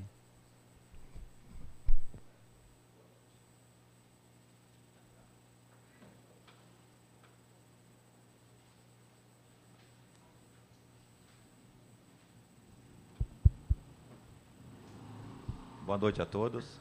Meu nome é Marco Antônio, sou cidadão botucatuense. É, eu gostaria de fazer alguma uma indagação com relação ao artigo 33, onde diz que deverá ter no mínimo um terminal de articulação, e, com exceção à zona de tráfego, que deverá ter no mínimo quatro TAs. Isso seria é, zonas de integração? O que, que seria? O terminal de articulação é um terminal de transbordo, em que ah, você, é, você minimiza o trajeto do ônibus e faz com que o, o usuário ele possa, com mais velocidade, ele desça do ônibus Seria sem pagar um nenhuma... de integração, então? É, com, sem... talvez ônibus, VLT... Sim, uma... inclusive, o, inclusive o traçado do VLT já também está dentro dessa, desses é quatro terminais. Quatro, são previstos quatro. Desses quatro terminais. E um que seria também um terminal rodoviário, meu entendimento está correto ou não? É, o, é, ele, é, é são quatro mesmo.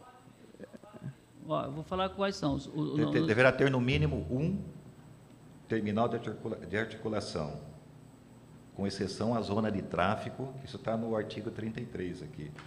Cada núcleo componente do perímetro urbano municipal existe, existente ou criado a partir das revisões sistemáticas do plano diretor tá, municipal. Deixa eu explicar então. Tá. É, é, o no mínimo um, a gente entende o seguinte: um central seria é, é um modal de terminal fechado. Aí okay. os outros três, né, os outros quatro, seriam terminais abertos. Okay. Estamos falando de, de transporte urbano só, Transporte então. coletivo. Tá, tá, ok, coletivo urbano. É, não, mas aí, por exemplo, o que o Zé falou é importante. Porque nesse terminal também, que seria o fechado, ele poderia ter integração com outros modais.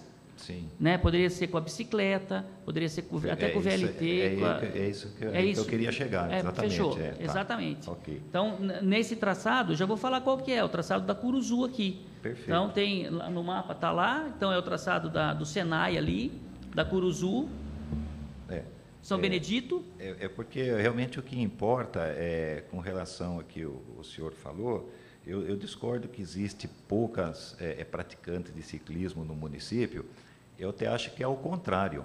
Existe muitos. O que falta é condições para que se possa, possa se locomover de, de, bicicleta no município. Eu falo porque eu sou praticante, eu, eu, uso e eu, eu é. sei o que se passa um ciclista circulando nas ruas de Botucatu. Por isso que eu completei dizendo o seguinte, é. que o plano ele norteia né, situações que, se a gente tiver que, é, vamos imaginar, é, fazer uma ciclovia, é, a gente tem apoio do plano. Não e, seja uma coisa que, que comece Isso. com duas pessoas, mas que ele possa criar um, um, um, é, uma situação Nossa, até educacional. Eu interferi na, na hora ah. para exatamente dizer isso. É eu até gostaria eu... de fazer uma meia-culpa, é. né, porque eu acho que eu não, fui, eu não, não me expressei não, bem. Eu é no sentido de assim, é, não? não? teria tantos, é, tantos ciclistas ah. dentro dessa malha total é. hoje. Hoje.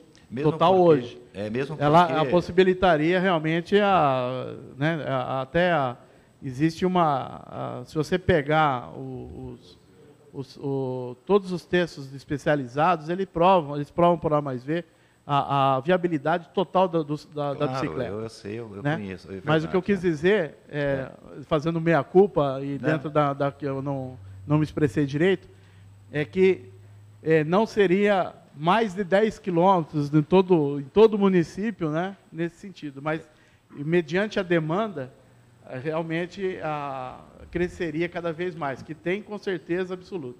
Marcos, posso pois também não, claro. ajudar? É, na verdade, é assim, olha, o, hoje no município já, já existe a integração em 100% das linhas. Tá? Então, com o uso do cartão, tá? então a gente tem uma matriz que ela permite que a pessoa saia da sua casa, ela chega em qualquer ponto que ela necessita fazer o transbordo, espere o outro ônibus e, e, e consiga fazer com o uso do cartão.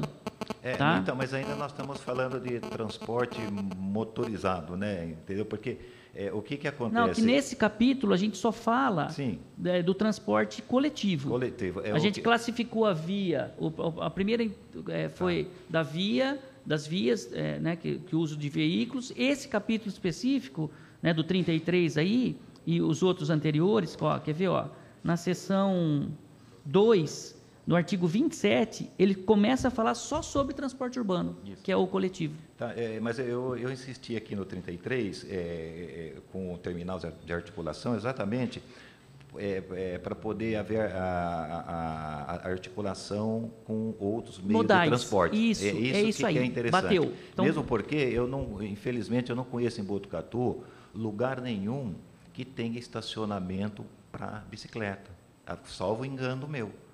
Não, não tem, não. Porque, infelizmente, existe. é, você vai no mercado hoje, se você deixar o camarada que entrar dentro do mercado com o carro.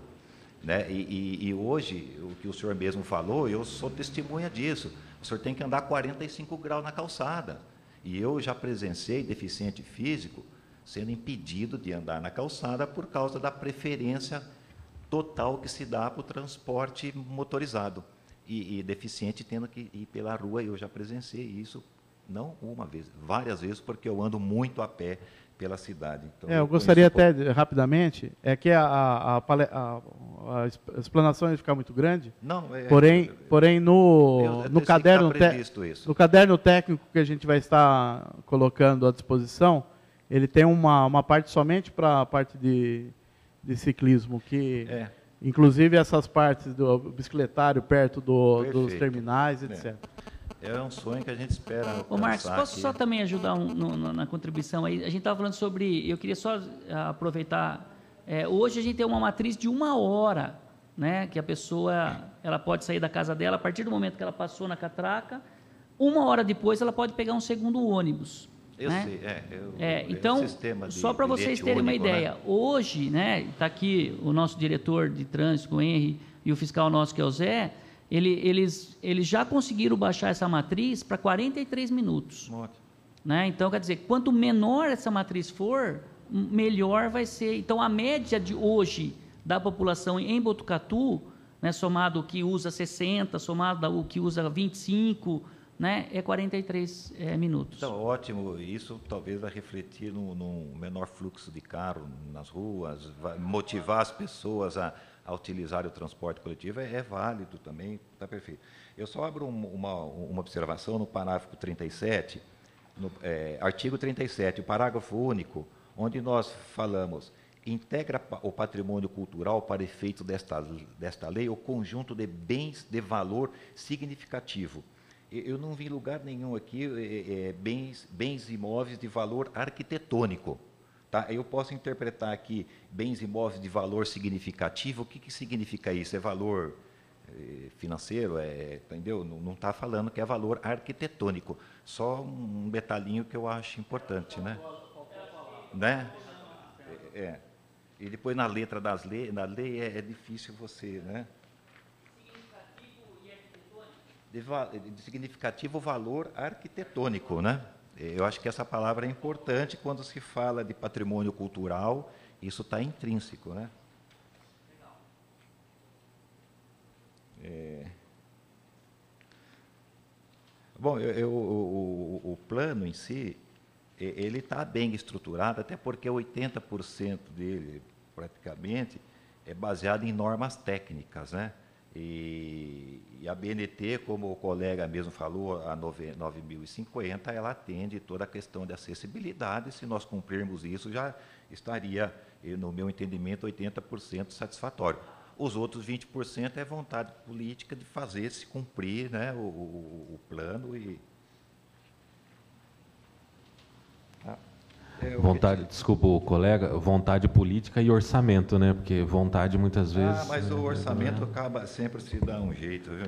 Não, eu estou dizendo para o senhor, porque é, buscar, é- é o seguinte: se o senhor pegar o orçamento do município dos últimos 10 anos e entender o percentual que foi gastado para transporte de veículo e o percentual que foi gasto para transporte é, a pé, o senhor vai ver que, enfim, é, é preciso realocar o orçamento É. e não só ter vontade política. Não, É e, e a nós vamos- vontade política, digo também, é fazer cumprir, porque nós temos lei municipal, inclusive lei de iniciativa popular, que eu acho que é a única lei que nós temos no município, que fala já sobre postos de gasolina. Acho que é a única lei de iniciativa popular que nós temos no município, que os postos de gasolina têm que atender algumas normas técnicas e estão funcionando, estão funcionando sem atender às normas técnicas especificadas em lei, que é a questão do piso tátil, que é a questão da, da, da, do rebaixamento das esquinas.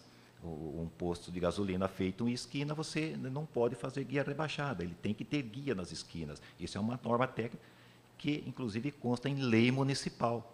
E existe empreendimentos feitos após essa lei que existe, que está em pleno funcionamento e teve licença para funcionar. Essa é uma das vontades políticas que eu falo para o senhor, que tem que se fazer cumprir, porque nós já temos leis, sabe, interessantes, importantes, que não estão sendo cumpridas. Tá? Mas, ao, ao todo, eu concordo, sabe, como cidadão, eu acho que é um avanço, nós temos que aprovar realmente, e, e ele está bem elaborado, até porque tá, ele tem que estar tá baseado em normas técnicas, inclusive, né, por questão de acessibilidade. Muito obrigado pela participação. Próximo, Gustavo Bilo. Boa noite, meu nome é Gustavo Alves, cidadão de Botucatu. Eu não combinei com o Marcos, não, mas já que ele citou, estou com o projeto de lei de iniciativa popular e vou discordar do meu amigo Paulo Malaguti e eu acredito que falta muita vontade, sim. Dinheiro é importante, é, mas falta vontade. É, aproveitando a, a fala do, do colega Marcos aqui, em relação aos postos, já existe uma lei prevendo a imposição de multa. O dinheiro não, não vai ser da prefeitura. O que a prefeitura tem que fazer é cobrar que se cumpra a lei. E isso não é feito. O que me preocupa muito em relação a é, esse projeto está sendo discutido. Eu sou advogado, como jurista eu sei, eu sei bem. O Isaías, também advogado, sabe. O Brasil é o país que mais tem leis no mundo. A gente tem lei para tudo que se imaginar. O próprio Paulo Malaguti já disse, já existe uma legislação específica da Associação Brasileira de Normas Técnicas, é, que vem ajudar, dar todo o apoio para que a municipalidade tenha instrumentos para que faça valer aquilo que está escrito na, na norma técnica. É, o que para mim falta mesmo é vontade. Eu vejo aqui em Botucatu, vou, é, vou citar alguns exemplos que falta fiscalização. Aqui em cima mesmo, na lápis e papel, aqui não tem calçada. Uma padaria lá indo para o Lajeado, Flor de Botucatu, não existe mais calçada, a pessoa tem que andar na rua. E a prefeitura? Já existe lei. O passeio público tem que ser para as pessoas, pedestres. Para quem não conhece estatística, eu tive andei dando uma estudada, 60% do deslocamento feito no município é feito por pedestres. 60%, quer dizer, a maior parte da população se desloca pelas, pelas vias públicas. E é possível fazer isso. O que falta mesmo é fiscalização. Você pode ter mil normas, se não existir um fiscal, que não existe em Botucatu, nada, isso tudo vai ser em vão. Já existe legislação específica que tem que ter calçado, a calçada tem que ter no mínimo um metro e meio, não pode ser inclinada. Aqui na própria Câmara Municipal, aqui do lado tem uma rampa. E quem vai fiscalizar? Vocês mesmos, vereadores, estão aqui, vocês poderiam ver isso. Agora vai precisar fazer outra lei, mais lei, lei. O que mais tem é lei. Eu garanto, se quiser, eu apresento para vocês, já existem normas suficientes para vocês fazerem valer o que está sendo discutido aqui. É como lei de fumar. A lei estadual, existe uma lei estadual dizendo que é proibido fumar em locais fechados. Aí tem uma lei municipal que diz a mesma coisa, é proibido fumar em locais fechados. Existem várias leis falando sobre o mesmo assunto. E não é cumprido. Por quê? no meu entendimento, não é falta de dinheiro, desculpa, é falta de vontade política, é falta de arregaçar as mangas e fazer valer. Espera aí, todo mundo aqui espera que todo mundo vai chegue, vai chegar, vai envelhecer, todo mundo vai andar. Eu não, eu não entendo o porquê de, de, de, não fazer cumprir isso. Todo mundo, por mais que você ande de carro, um momento da vida você vai ser pedestre também. Rua Amando de Barros, principal corredor aqui, em frente à pastelaria do Carlito, tem uma guia rebaixada do lado de lá e não tem uma do lado de cá. Será que é tão caro? Será que não é falta de vontade isso? Não é falta de organização?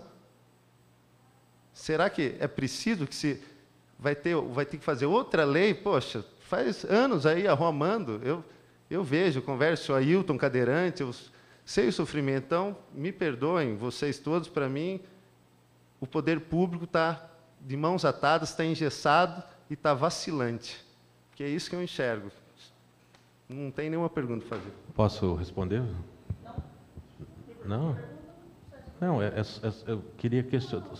Não, eu, eu, só, eu só. É, ué. Não é, eu, o, o, que eu. o que eu queria colocar para o Bilo a respeito de, de orçamento é exatamente, enfim, eu, eu não comando o orçamento da cidade há mais de 30, 40 anos.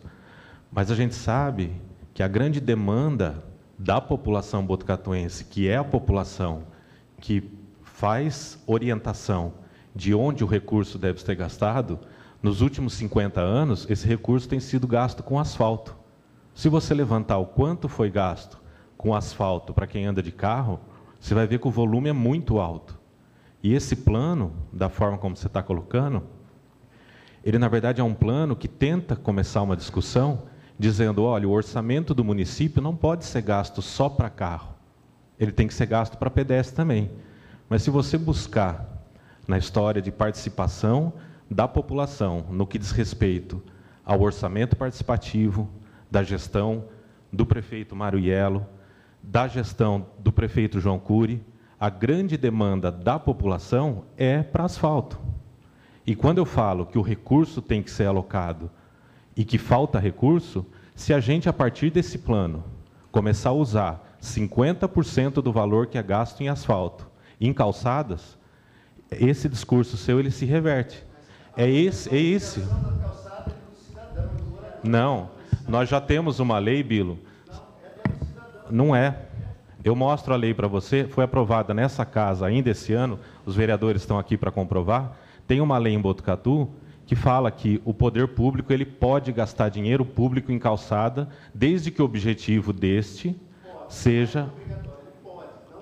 Ué, aí é vontade política, não é o que você está falando? Então, mas aí você está falando dos deveres do cidadão e não só da vontade política do poder público.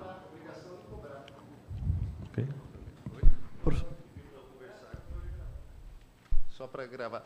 É, é, se você a obrigação da prefeitura é cuidar das calçadas da própria municipalidade, de onde tem prédio público. Por exemplo, a escola do Santa Maria, que não tem calçada. Okay. Seria obrigação. Agora, do particular, é o particular que tem que fazer a sua calçada. A prefeitura não vai ter que gastar dinheiro. É só exigir que o particular faça, economiza dinheiro. Pois é, aí você pega o dinheiro do asfalto e cria uma equipe de fiscalização com recurso humano, com carro, com GPS, com toda a estrutura necessária para você. É a concepção que o plano está trazendo. É mudar o conceito de que você vai trabalhar só com asfalto, você vai gastar 100% do seu orçamento com asfalto, ou você vai começar a gastar com o transporte. O plano não fala que o pedestre vai ter prioridade? Para o pedestre ter prioridade, ele vai ter que ter orçamento. E é isso que a gente está questionando.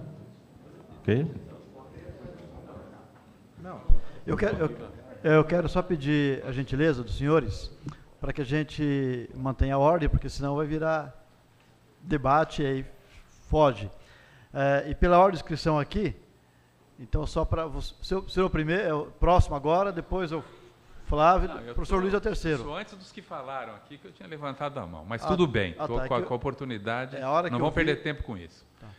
É, boa noite a todos e dizer que, em primeiro lugar, uma sessão dessa, uma audiência pública para discutir um assunto desse sempre merece toda a nossa consideração e apoio, então eu só quero valorizar isso aí. Mas eu quero pegar a questão da acessibilidade, é mais uma contribuição. Eu tenho duas preocupações. Uma já revelei para o secretário na chegada, estou até preocupado em comentar, mas eu acho que nós já estamos vivendo um momento, não sei se atrasadamente no município, a discussão do plano diretor. Você tem que rever periodicamente um plano que foi feito na época, né? Então, e já está programado o vice-prefeito, o vereador, o Caldas, vice-prefeito, está, se não mudou, ele é o coordenador dessa discussão toda. Então, fica, eu quero saber se essa lei aqui, se ela caminhar rápido, né? Que é o interesse da secretaria, porque tem alguma pendência aí que depende um pouco disso, talvez se ela, sendo aprovada, se já entra na discussão do plano diretor, uma, até a reformulação dessa lei. Eu acho que estou brincando com isso, mas é uma pena que essa discussão não vá, né, quer dizer, não pegue essa discussão mais ampla de reformulação do plano, uh, do plano diretor do município, né, que precisa ser atualizado.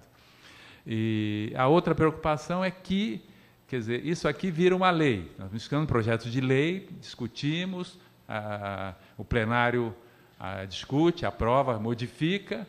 Então eu chamo a atenção, tem uma sugestão aos prezados vereadores, tem até a ver com a pergunta do Trigo, ele fez uma, uma, uma insinuação, uma provocação com Paulo Malaguti, depois ele não deu prosseguimento.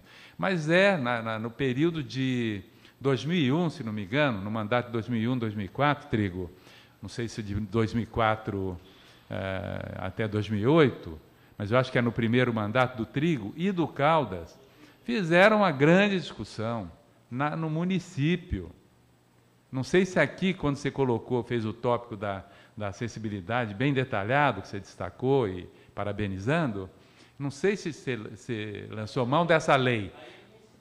Mas existe uma, eu acho que a preocupação do trigo deve ter sido isso, porque existe uma lei municipal, então é importante que se veja para não ser redundante.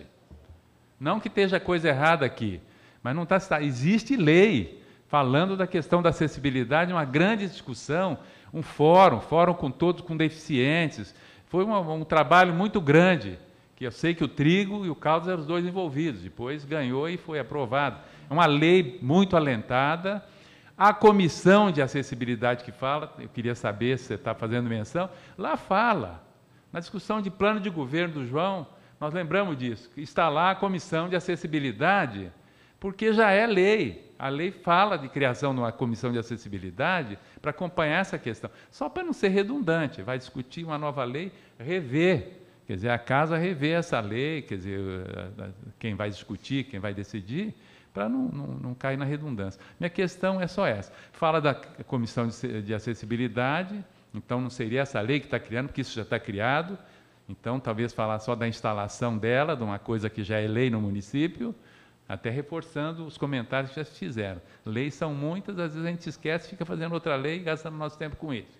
E uh, a outra coisa, o conselho, né, Vicente? Você fala do conselho de mobilidade urbana a ser criado pela secretaria, mais um conselho, e fala-se também do conselho de acessibilidade. Fala, fala de dois conselhos para se criar. Então é importante a gente pensar nisso, né? Isso como, como questão da gestão democrática dessa questão. Qual que é o artigo, professor, que fala do Conselho da Acessibilidade? Só pra... Fala aqui, ó. Fica atribuída a Semutran, compete Semutran, ah, no, no artigo 65, criar o Conselho Municipal de Mobilidade Urbana e Conselho eh, Permanente de Acessibilidade. Fala de dois conselhos. A CNK, nada contra. Não, acho essa, que a redação... essa é questão da gestão democrática. não, mas acho que é a redação que não, a redação que não está batendo. Não, mas não, depois, não mais à frente, fala que é um Conselho Municipal de Mobilidade Urbana e Conselho Permanente tá. de Acessibilidade. Conselho de Acessibilidade, Conselho Permanente de Acessibilidade. Aqui. E fala de quatro meses. Lá atrás falou de da, instalar a comissão em três meses. Tá. Uma comissão que já é de lei lá de 2003, como está sendo lembrado. Porque a só porque, né, nós vamos fazer uma lei, então só fica redundante, falando das mesmas coisas, né, que não é o, não é o principal. É só isso, muito obrigado. Tá bom. Só para completar, professor, eu acho que cabe aí a, a, interferência do professor, e não sei se a gente pode até fazer um, uma mensagem aí, alguém dos vereadores fazer uma mensagem para corrigir essa, essa situação. Eu acho que o senhor está pertinente. É, seguindo aí a colocação do professor, não existe é, nenhuma intenção de se criar um conselho de acessibilidade, tá, professor? Se, se, isso apareceu aqui no texto, apareceu equivocado, ok? E aí faz a, enfim, a emenda aqui para tirar o que, que a gente pode. O... Oi? Agora, o senhor, não é isso? Mas, isso aí faz. O senhor, o senhor se dirige para o microfone, é só para dizer, é, essa é a beleza da audiência pública, não é isso? É porque é uma questão democrática para discutir, para ampliar sugestões, apontamentos, para que se façam as devidas adequações. Por favor. Meu nome é José Luiz Vieira Filho, sou presidente da ONG Protefer do Brasil, porém moro em Botucatu. Profissionalização e proteção da família ferroviária do Brasil. É, primeiro, parabéns pela coragem de mencionar a respeito da, dos dois, do ponto negro que Botucatu tem, que é a ferrovia. Infelizmente, nós vivemos num país é, cuja dificuldade maior chama-se ALL, uma predadora social que vem neutralizando todo o sistema de transporte e mobilidade urbana de Botucatu. Baseado nisso, foi mencionado a respeito do VLT, também foi mencionado num projeto é, a respeito do, do acesso do centro Vila dos Lavradores e do centro é, da cidade Unesp. Infelizmente, nós temos aqui em Botucatu duas passagens nível superior. Eu tomei a liberdade de alertar é, o senhor Delara, Lara, Dalfarra, desculpe, a respeito de duas que nós chamamos, eu tô, fazem 40 anos que eu sou ferroviário. Eu sou ferroviário de campo, eu sou ferroviário de, de gabinete. Tá? Que nós vamos, estamos alertando já há várias vezes, enviando ofício para todos, não nessa administração, mas também na administração anterior. Nós temos duas PA, tá? que nós chamamos de tragédia, TA, não é PA, TA, tragédia anunciada. Sai a passagem de nível superior da Major Mateus e a passagem de nível que liga Botucatu ao Unesp. Então, eu gostaria de perguntar ao nobre secretário, primeiro, parabéns de lembrar, de, de inserir a ferrovia na mobilidade urbana, porque ela estava na questão histórica, estava cuidando do telhado e deixando o alicerce apodrecer. Então, primeiro, cumprimentá-lo. Segundo, nós fizemos um levantamento, mas nosso levantamento é precário. Tá? É, qual a frota de veículos emplacados em Botucatu hoje?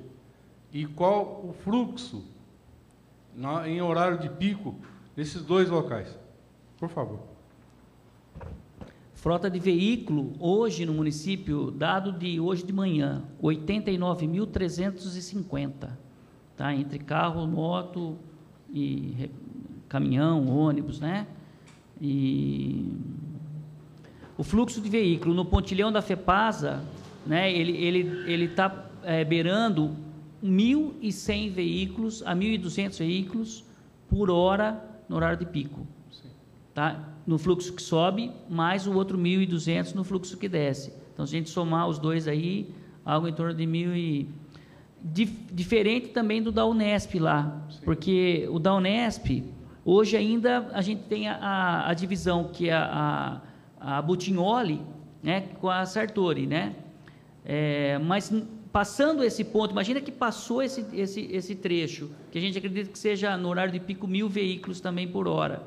Mas na portaria da Unesp, né, somando o que vem da, do, da Butignoli mais o, o que passa embaixo, ele dá dois mil veículos. Ótimo. Em uma hora. Em uma hora. Correto. É, o senhor mencionou a questão do código de postura. E dentro do código de postura, existe algum projeto para resolver esses dois TA que, a Ferro, que nós já vamos, estamos anunciando já faz tempo, não vai, ou vai esperar acontecer como São José do Rio Preto, que também nós fomos para lá e notificamos, informamos a, as autoridades que existiria, tinha é, TA naquele local. Hoje, as composições que a, concessionária está transitando sobre esses dois pontos, sobre essas duas passagens de nível superior, tá? É, são composições com 80 vagões. Não adianta reduzir o limite de velocidade, eles estão passando a 5 por hora, mesmo porque é, são incompetentes até nisso. Tá? Há 40 anos atrás, a velocidade nossa era 70 por hora, 40, 60 até o trem de carga. Quer dizer, em vez, houve um atraso. Hoje reduziu de, 40, de 60, reduziu para 15 o transporte de carga. Tá? Reduzindo a velocidade, acentua ainda mais o perigo. Então, se tem algum, algum projeto para reforço, ou reforçar ou eliminar a possível tragédia anunciada aí.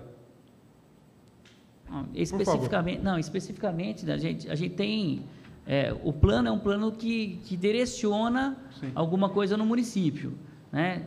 duas situações. A primeira é de, da utilização dessa via, né? porque um dos traçados que, do VLT né, é efetivamente a gente utilizar esses dois pontos para o transporte de passageiro também. Né? E a outra situação é da gente retirar né, é, essa, é, esse trilho do centro da cidade. Então, qualquer da uma das situações, elas são bem-vindas. É, quando eu ingressei na ferrovia em 76, já havia o projeto de sair de Laranjal e ligar Avaré para eliminar a questão geográfica. A dificuldade ela se acentua em razão da, da, do, do, da área geográfica onde está localizado o Botucatu. Porém, é só como um alerta. Nós apresentamos, nós levamos não só para a Câmara de Vereadores de Botucatu, mas para as outras câmaras de vereadores, a, a proposta de se, apresentar um projeto de lei. Sorocaba já está impedindo que a composição trans, ela transite durante o dia, ela tem que só transitar é, é, durante a noite, porém a, a, concessionária ela não cumpre nada. Tá? Ela está pouco se lixando. Até eu estava comentando com o senhor que ela tinha um, um, um espaço para acomodar o, a família ferroviária aqui, ela mudou para São Manuel, agora ela quer voltar e ela quer que o poder público recupere o pernoite para ele. Dizer, são, são situações bem, bem confusas tá, que você tem colocado. Então, eu agradeço por agradeço, colocar, senhor, muito obrigado. Tá, colocar a ferrovia na mobilidade urbana. É. Esquecer um pouco da questão histórica e envolver é. como transporte também, alternativo. Obrigado, obrigado, pela contribuição do senhor. Flávio.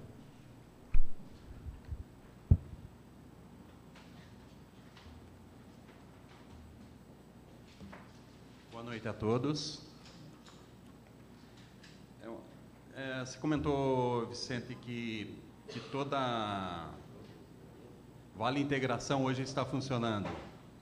Eu gostaria que fosse criado o Vale Integração Único, que a pessoa paga, tipo lá em Rubião, vem, ele recebe um cartãozinho que ele vai descer na cidade e ele vai poder pegar um outro ônibus ainda. Não, não. Estou falando particular. Eu vou lá, pago uma passagem, eu não tenho cartão. Eu recebo do motorista um cartão magnético de duas horas, não sei quanto é o tempo hoje, em que eu possa pegar um outro ônibus aqui no centro e ir para onde eu queira, queira ir, que seria integração, para completar a ligação. Tá? Sugestão. Agora, quanto ao, ao projeto, é, no parágrafo, parágrafo 2 é, artigo 2 parágrafo Segundo, inciso primeiro, está escrito planos nacionais, regionais e estaduais. Só sugeria inversão, planos nacionais, estaduais e regionais. Estaduais e regionais, para ficar sequência mais lógica. É, não pega muito, mas acho que é importante, né?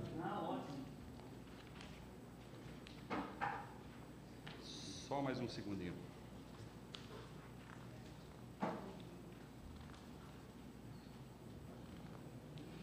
é, o artigo 55, ele está diferente, o artigo 65 diferente do artigo 46, que cita três meses num artigo e no outro quatro meses. É Para a criação da Comissão Permanente de Acessibilidade. Seria uma correção.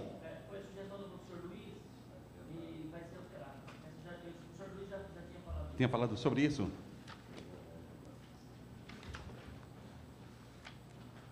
Aí, o terceiro item é.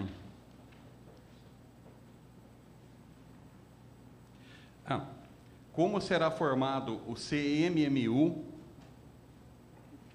Quantos participantes? A CPA também, que é, é o, o Conselho Municipal de Mobilidade Urbana, e o Conselho Permanente de Acessibilidade que consta no artigo 65. Como eles vão ser formados? De quantas pessoas? É, se, se, se, a gente já modificar pela lei que já existe, né, que já deve estar direcionado isso, já Então já tá vai buscar lá, lá na outra é. lei, então. Correto. E só uma sugestão. Eu entrei em contato com uma empresa no Paraná sobre é, uma ideia que eu tive, que é a fabricação de placa de inox escrito normal e em braille, em que poderia ser colocado em cada esquina de Botucatu, digo em esquinas importantes, que tenham movimento de, de pessoas, próximo de pontos de ônibus. Quanto custa? Isto é caro. Custa 70 reais na época, eles me deram de presente.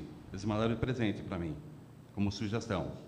Só que nada impede de ser criado é, ser consultado o tipo de máquina que se usa e foi fabricado pela própria prefeitura. Eu acredito que esse preço ia cair e muito. Outra sugestão, verificar se não tem alguma universidade que desenvolveu alguma coisa nesse sentido é, quanto a aproveitamento do reciclável.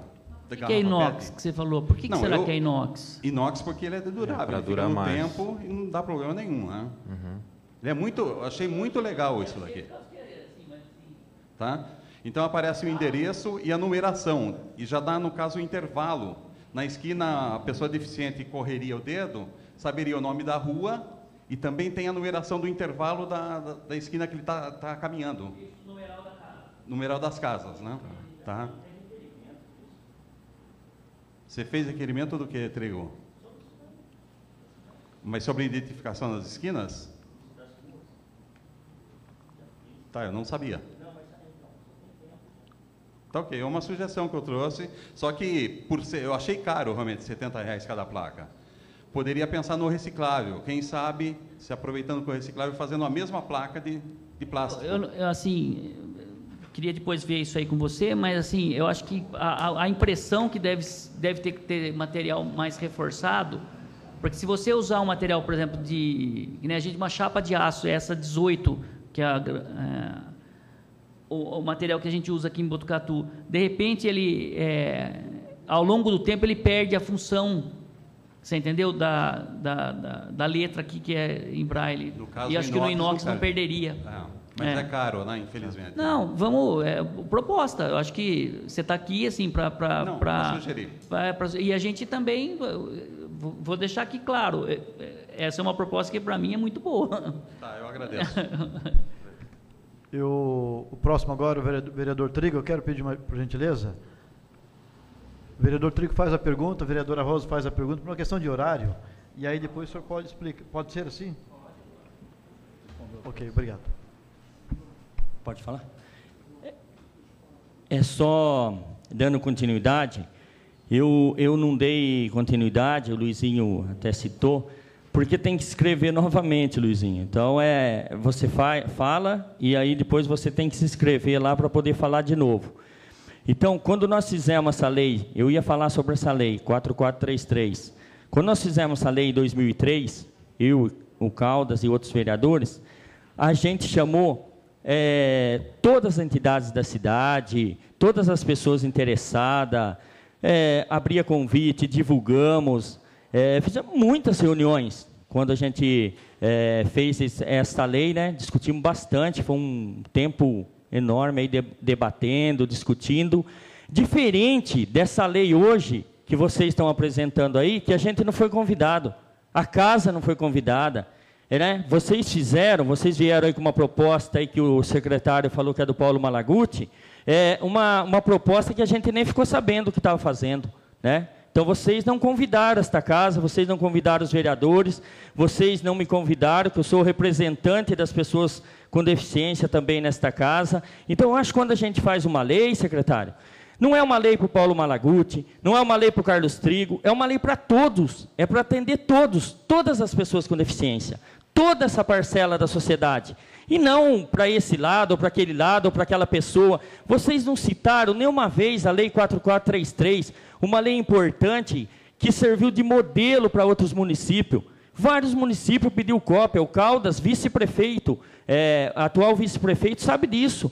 Vários municípios acabou pedindo cópia desta lei. E vocês não citaram. Eu, eu duvido que não tem coisas que vocês aproveitaram dessa lei.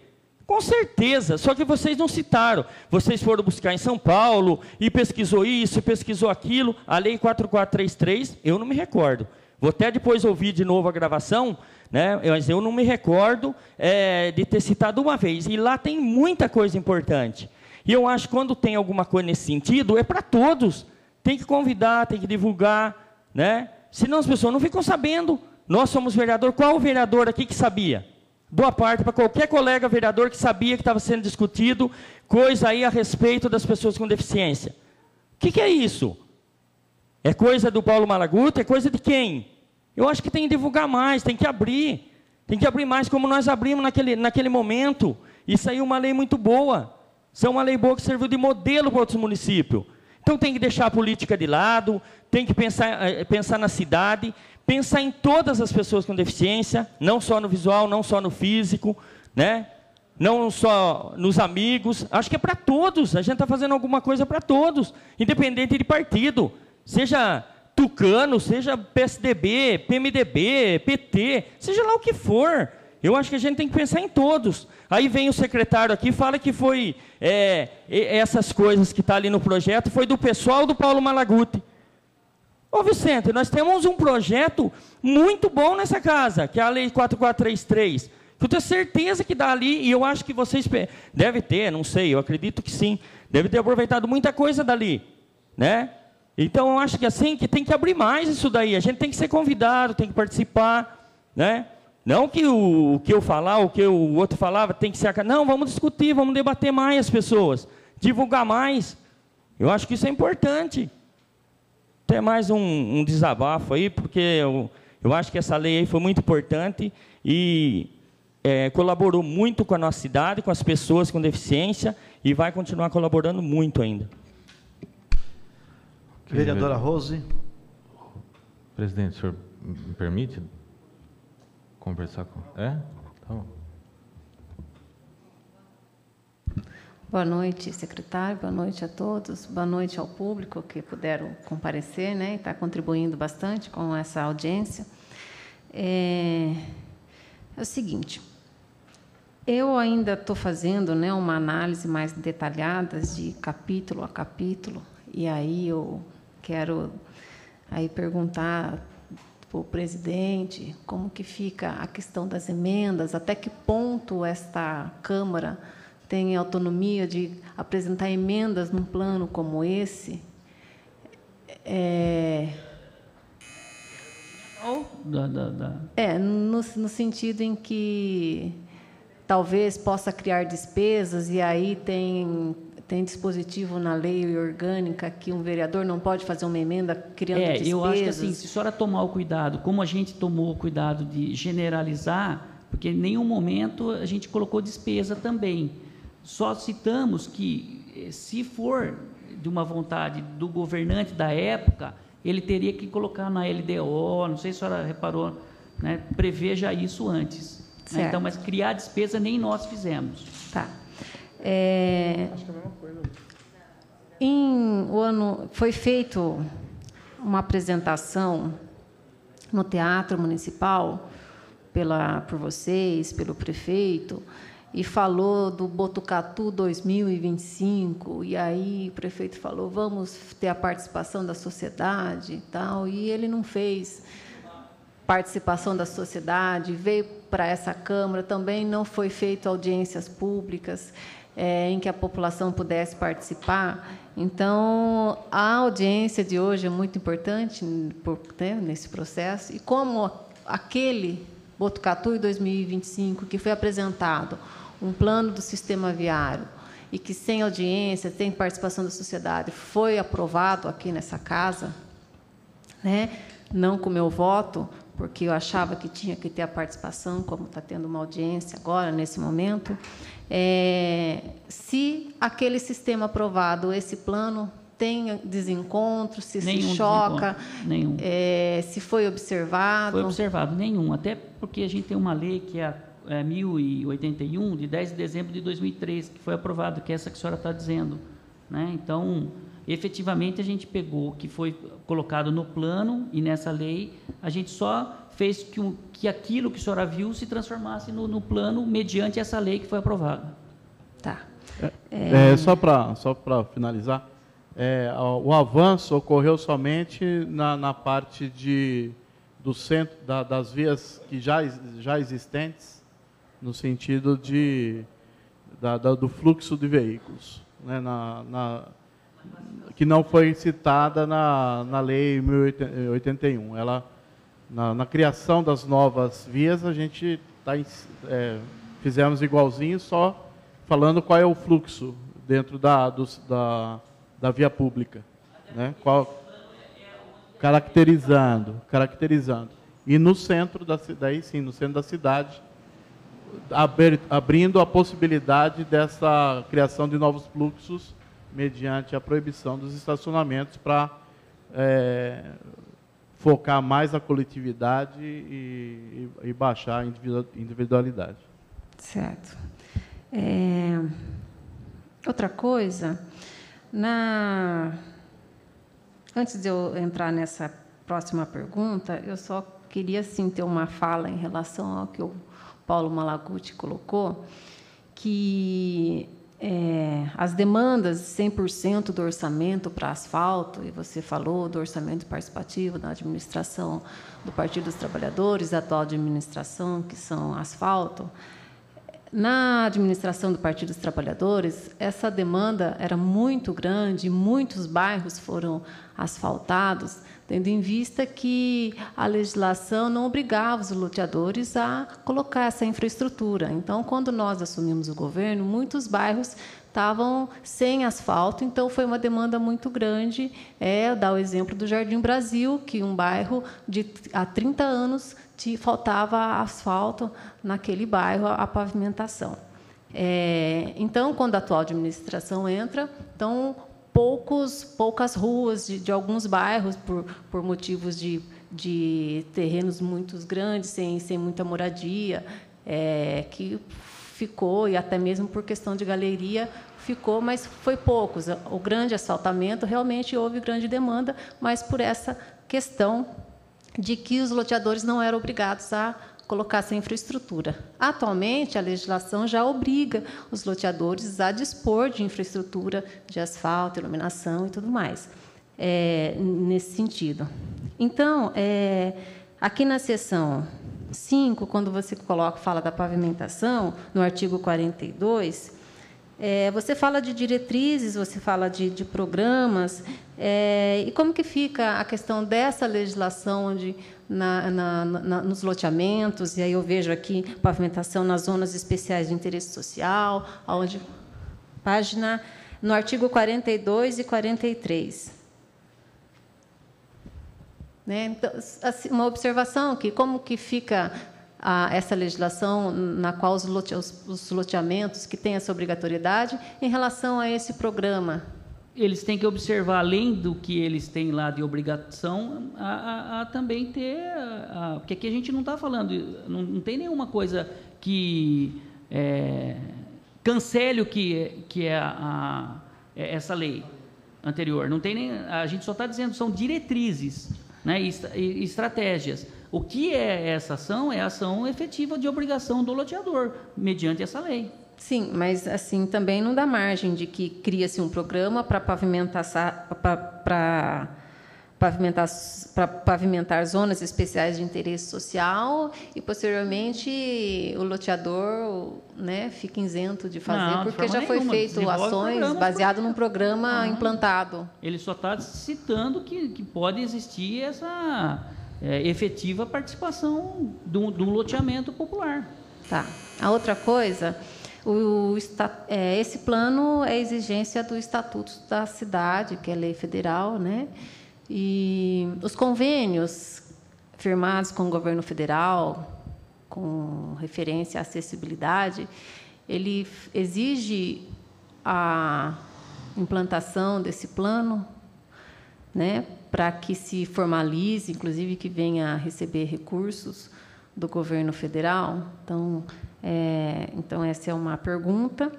É, com cautela também, quero dizer que a sua fala sobre a aprovação da lei para que o poder público possa fazer calçadas, né? Eu também fui contra, tendo em vista várias questões, inclusive a multa ao comerciante, ao munícipe sobre quebrar a calçada. Então, Vamos ver com cautela, não é bem assim, autorizou o poder público fazer calçada. É, não por mim, né, também. E, e, e com relação ao orçamento, o orçamento de 2014, onde teve audiência pública de finanças, eu não me lembro de visto o senhor aqui na audiência, é, o previsto para o ano 2014 foi avaliado projetado e teve um, um excesso de arrecadação em 2014 de 46 milhões de reais a mais do que foi projetado para o ano. Né? Aí, se nós descontarmos as verbas que são vinculadas, convênio, Fundeb, que já estão comprometidas, nós teríamos aí um excesso é, de 19, mil, 19 milhões de reais. E tivemos na apresentação que de livre movimentação foram 16 milhões que estão passando para 2015, né? Claro que metade disso, 8 milhões, o governo também já comprometeu e, vai, e tem livre mais de 7 milhões para ser gastos. Então, quando se faz o planejamento, como o secretário também já estava falando aqui, então é possível sim alocar como enquanto vontade política, né, determinadas ações. Então, é vontade política, porque dinheiro mostrou, a audiência onde mostrou que tem.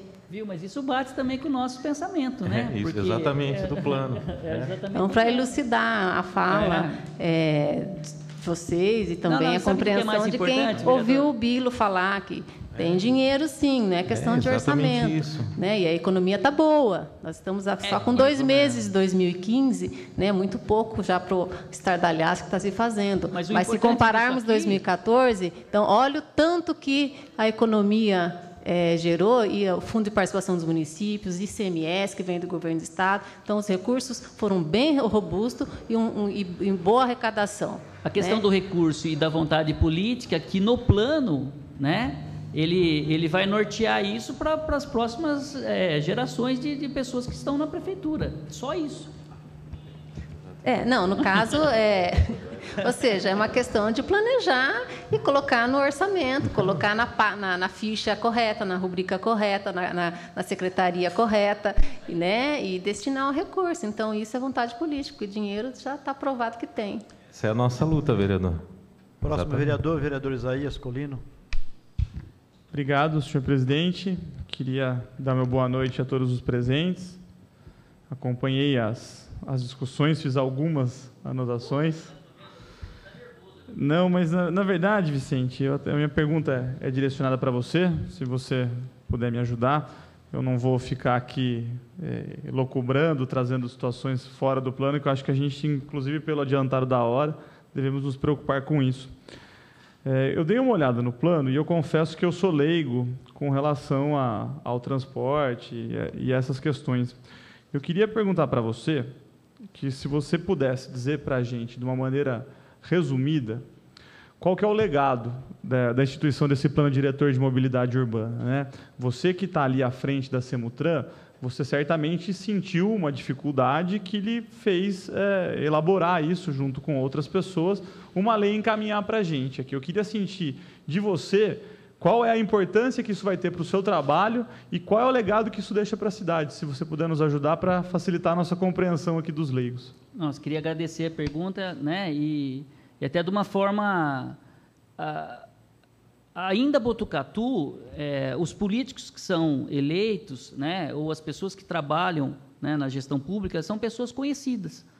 Né? Então, não é difícil. Né? Então, existiam algumas situações de a gente estar tá no mercado e a pessoa chegar e falar assim, poxa, eu preciso que você proíba a, a minha casa ou preciso que você tire aquela placa de estacionamento. Hoje, a gente estava junto, né, eu e o Zé Paulo, numa situação lá que a gente estava montando, uma pessoa chegou para a gente e falou, oh, tira aquela placa de estacionamento. Né? O mais importante de, de, tudo isso aí, do legado que você falou, vereador Isaías, é que esse plano norteia situações de que o gestor da época certo? Em virtude do que é a, o planejamento é, da mobilidade urbana, ele vai poder tomar uma atitude que a sociedade, que imagina que num comércio, imagina que numa casa de, de, de uma pessoa, é, seja extra é, a situação da pessoa é, conhecer você, entendeu? Então não, não vai existir é, a política é, no sentido da pessoa fazer uma gestão em cima de você. Né? Então, por exemplo, ah, eu sou amigo do Vicente, ele não vai proibir o estacionamento na minha casa, porque está na, na, secretaria, né?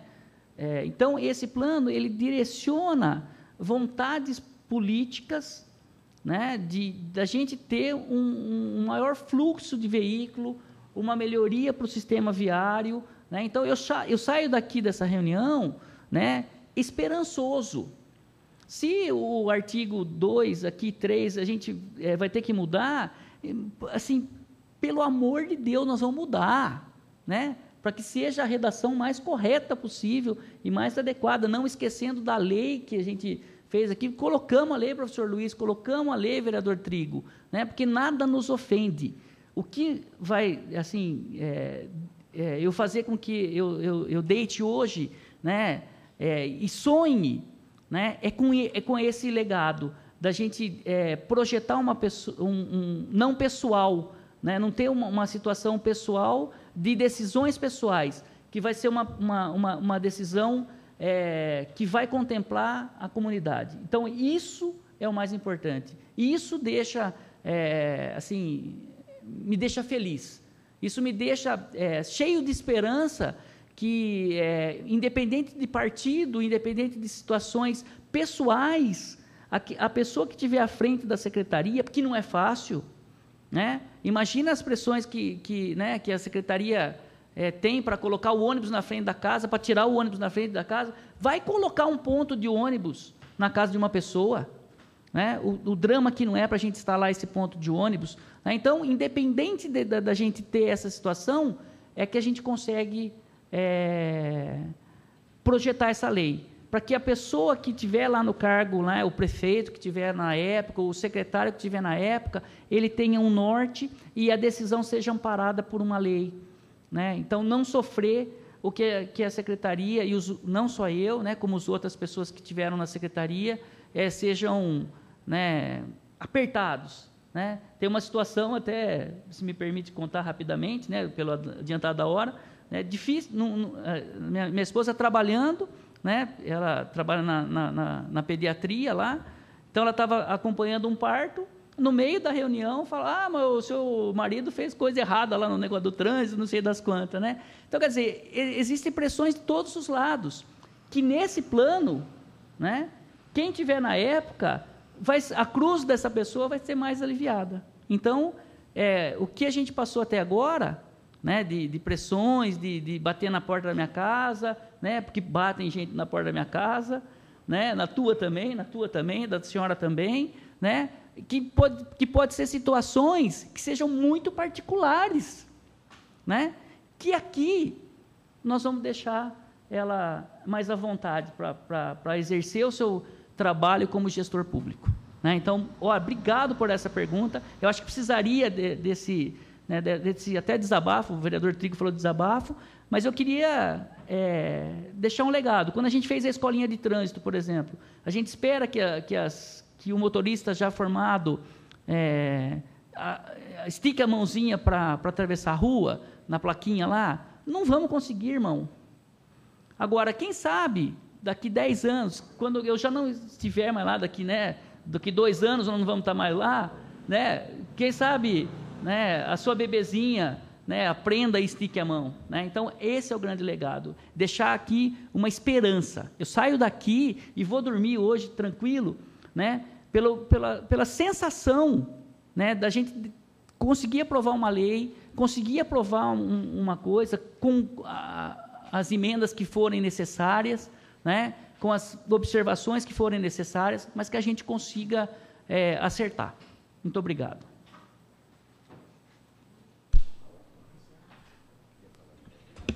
Tudo bem. Mesmo que o senhor fale em 30 segundos, não, tudo bem. não, é rapidinho. Eu lembro da questão da vereadora a respeito dos recursos federais, que de fato existe uma orientação mesmo na lei que todo município com mais de 20 mil habitantes é, foi orientado para a construção desse plano, sobre pena é, de não conseguir ter acesso aos recursos federais. E aí, de fato, acho que essa foi a grande motivação para que o Brasil todo, através é, das conferências das cidades, enfim, que também foi uma construção coletiva de toda a sociedade brasileira, chegasse na necessidade dessa orientação para que os municípios construíssem de fato o seu plano. É, de fato, isso é, uma, é, é correto. É, e fala, é, já, já, que você falou sobre isso, eu fiz um requerimento que, com base nesse plano, com base na revisão do plano diretor, que já passou de, dos 10 anos, que sempre tem que é, revisar, que nem o professor Luizinho colocou, é, já está atrasado a instituição de um conselho das cidades, né? Para isso, para contribuir nisso, para contribuir nos, nos loteamentos, nas novos projetos de habitação. E eu recebi uma resposta do professor Caldas sobre esse requerimento, né, na qual eu discordo, que vai discutir se vai ter o conselho no plano diretor. Não é o contrário, tem que instituir o conselho para o conselho participar da revisão do plano diretor. Né? Então, não sei o que, que você pensa sobre isso, mas eu acho que tem que ser revisto.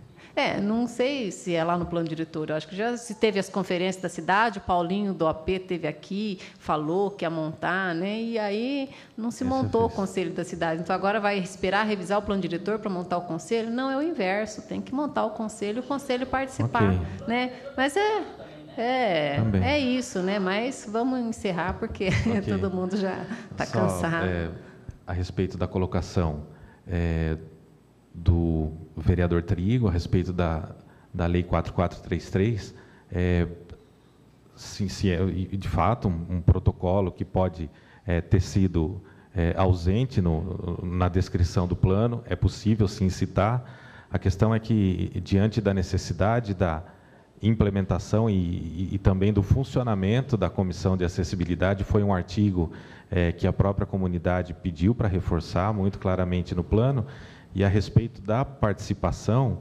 é, se eu fosse considerar é, uma verdade a fala do professor Trigo do vereador Trigo eu estaria indo é, em contrário ao próprio processo que eu mesmo vivenciei é, de discussão desse, desse próprio plano dentro do Conselho da Pessoa com Deficiência, que é um conselho onde as entidades das pessoas com deficiência são representadas. E hoje a gente sabe que tem mais entidades com deficiência é, participando do conselho atualmente, hoje falando em, 2000, é, em 2015. Então, é, a vinda desse plano para a Câmara, eu acho que de uma forma o fluxo do trabalho permite perfeitamente que todas as pessoas que queiram contribuir ou que queiram participar possam fazer isso através da audiência pública, através é, de, enfim, participações de outros formatos de reunião.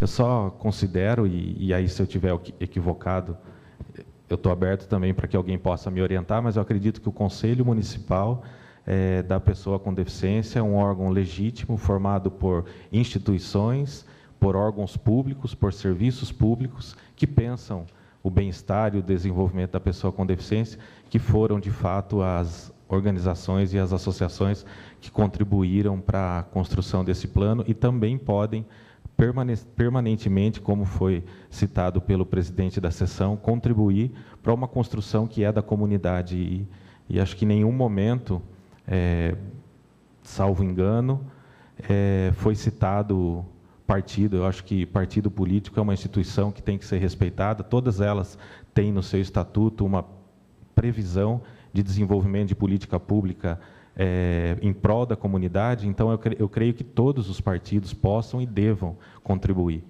Então, eu acredito que isso foi feito da forma mais tranquila possível e, e tende a, a continuar dessa forma. E por isso só que eu queria fazer essa ressalva. Muito obrigado.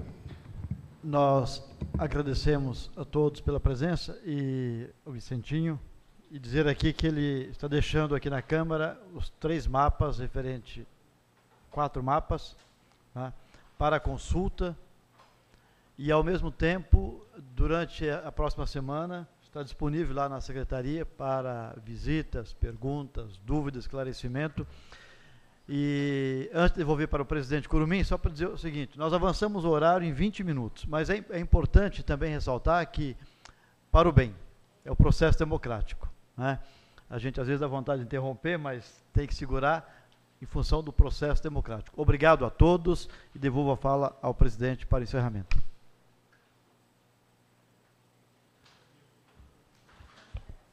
Eu também queria cumprimentar o vereador João Elias, o, quem presidiu essa audiência pública, cumprimentar a todos os presentes e dizer, é, reiterar na realidade que esta casa, é, Vicente, é, é um, um, berço da democracia aqui temos várias opiniões divergentes, é aquilo que você muito bem colocou, Vicente, é, é o caminho do bom senso. Uma fala que sempre o prefeito usa, que é importante destacar, que ninguém vence o diálogo. O diálogo é a maior ferramenta, a maior, é, é o maior instrumento de enriquecer qualquer processo. Então essa audiência teve esse objetivo. Queria comentar todos os vereadores que fizeram esse requerimento. O vereador João Elias foi o primeiro signatário, o vereador Carlos Trigo, o vereador Carmone, isso me falha a memória, e o Valmir Reis. Então queria cumprimentá-los é, por fomentar essa audiência e dizer que vamos aí na torcida que seja é, formulada emendas para enriquecer ainda mais de maneira construtiva, a fim de deixarmos de lado é, situações individuais e sempre pensando na, na coletividade, na, na, na, intenção maior que é a cidade de Botucatu. Então, parabéns a todos que participaram com suas falas e o projeto estará à disposição daqueles que tiverem alguma é, proposição positiva que procure esta casa, os vereadores, para que possam emitir emendas no referido projeto, a fim é, é, de enriquecer ainda mais a referida propositura. Nada mais havendo a ser tratado, declaro encerrado presente audiência pública.